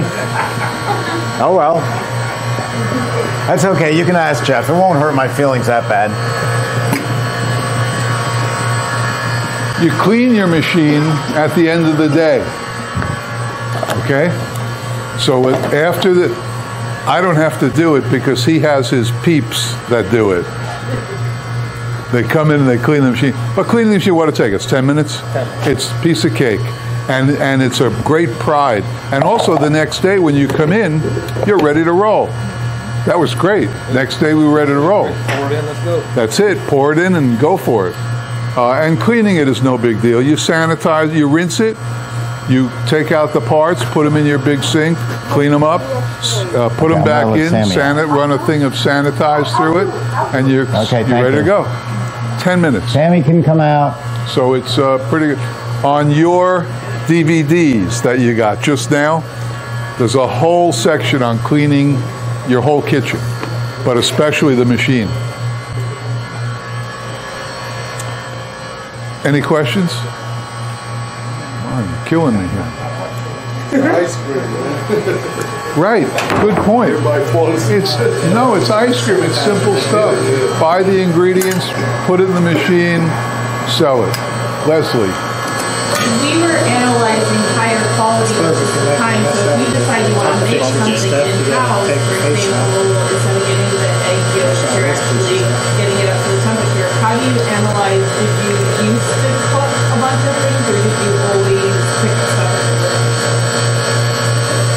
I, started supermarketing out of ignorance. I never knew any other way. You know, I sat where Bob is sitting back there the first time, and I watched Steve create his his ice creams. And yes, I did say, if that idiot can do it, I can do it. But that's not the point. The point is, when I left here, I didn't know about those cans and jars and jugs, and I had a machine. So I just went to the supermarket because I didn't I didn't know, and I went up and down the aisles thinking what would make great ice cream. M&M's, boy, M&M's got to make great ice cream. Oreos, Famous Amos, uh, cake mixes, uh, candies, anything, coconut. And I bought all the stuff and then I tried and I found out that it's good and it tastes like growing up when I was growing up. So that's why Steve credits me with changing the industry a little bit, going little, a lot. supermarketing, instead of buying, uh, what does it say on the book? Who's got the book, Andy? Where's your book? On the cover, it says, Make incredible ice cream without buying jugs, cans, or jars of flavors or colors. Go supermarketing. Here we And go. That's what I do.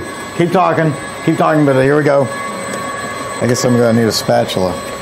Oh, that's beautiful. Right on top is a spatula. Okay. Oh! Move over. Look at that. Isn't that beautiful?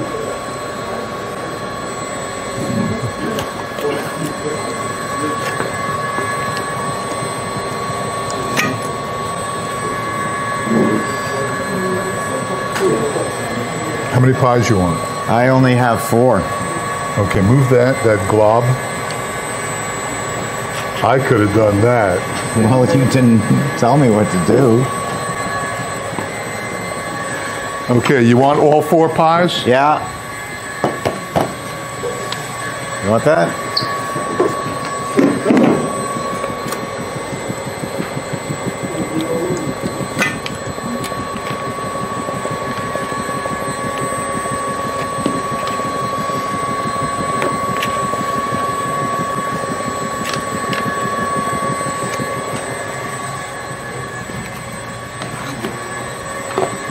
Looks better with the orange stuff in it. It is kind of cool.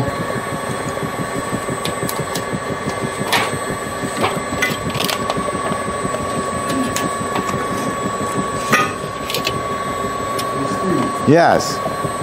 You get actually 20, 24 quarts of product, right? Mm-hmm.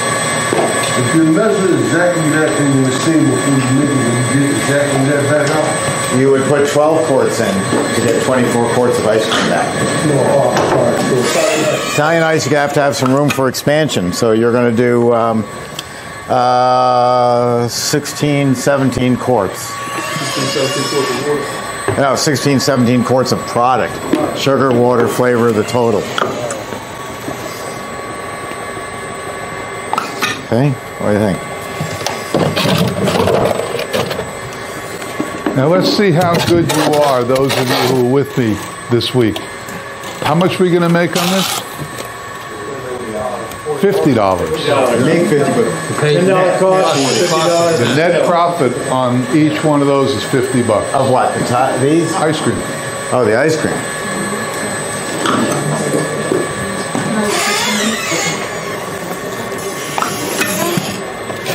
Ow.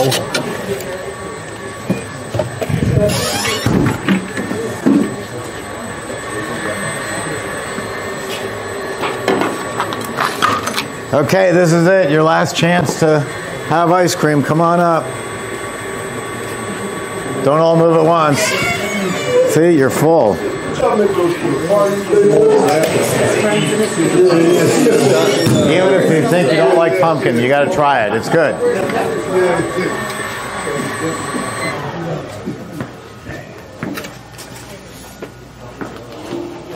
About half that. Half of this? Just half of that this spoonful, oh, yeah. like that movie actor, man. Good, thank you.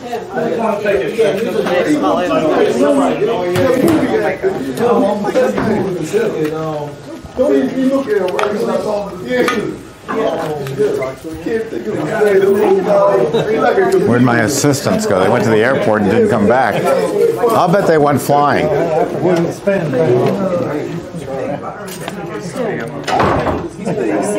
Buy graham crackers already cracked, cover that, and make it as an ice cream too. Dip it in the oh, That's what I, I put graham crackers in my in the machine. Yeah. And adding it in. Then put a little sprinkle on top too. I don't sprinkle. it. I just add. I throw graham crackers in there. Yeah, but like if you do a Sunday oh, with it, Tr- What? if you do like a Sunday with it or something, like put a little graham She hasn't lost your videos. I tried telling her. Oh, well. You put the whole, the whole crackers in there? Yeah, I throw them right in for the flavor. Read it. Just for the flavor. That's enough, that's enough. Thank you. small one.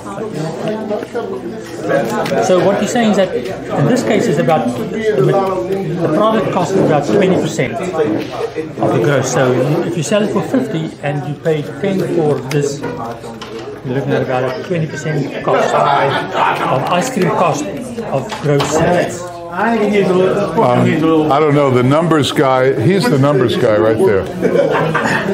I got some. That's good. I know, it's, it's not, it's got something missing. Something. Uh-oh. What's going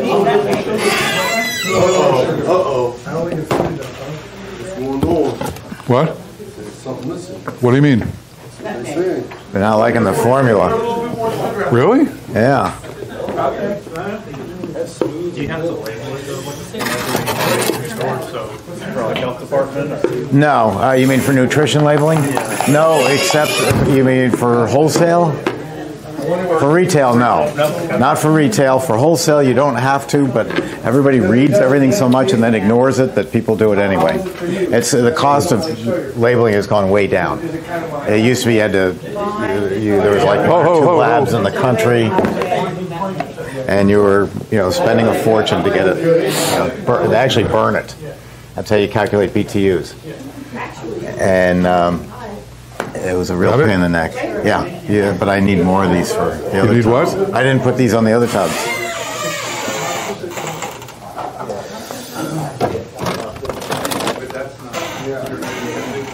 So you've gone from adoring fans who think the two of us are the greatest in the world to, ah, you know, it needs more ice. You know, you know, you're, you're, you're, ju- you're just like my relatives. The first time I brought ice cream, it's vanilla. It's, Steve, we love you. It's great. The second time I bring ice cream, Steve, it's it's good. It needs a little more vanilla. The third time, it's for God's sake, Steve, can't you make anything other than vanilla? But I'd like to remind you that we didn't hear those comments after my stuff. I'm sorry, who is there putting in all the ingredients today in my pumpkin? You know, I saw this coming and I didn't want to take the heat. Let me tell you, pumpkin is a very interesting flavor. It's delicate. It's like on the other side of the world, it's like peach. It's very hard to get strong peach flavor. In the store, when we make pumpkin, we make pumpkin maple walnut. So we get maple syrup in there. You know what? I saw maple syrup here. Yeah. Where'd I see it? Uh, right here. No, no. We had it. We, if we had added maple syrup, we would have had a winner. I think if we hung out with a better class of people, they wouldn't be annoying so much. a better class of people. He knows how to get a customer. Blame it on the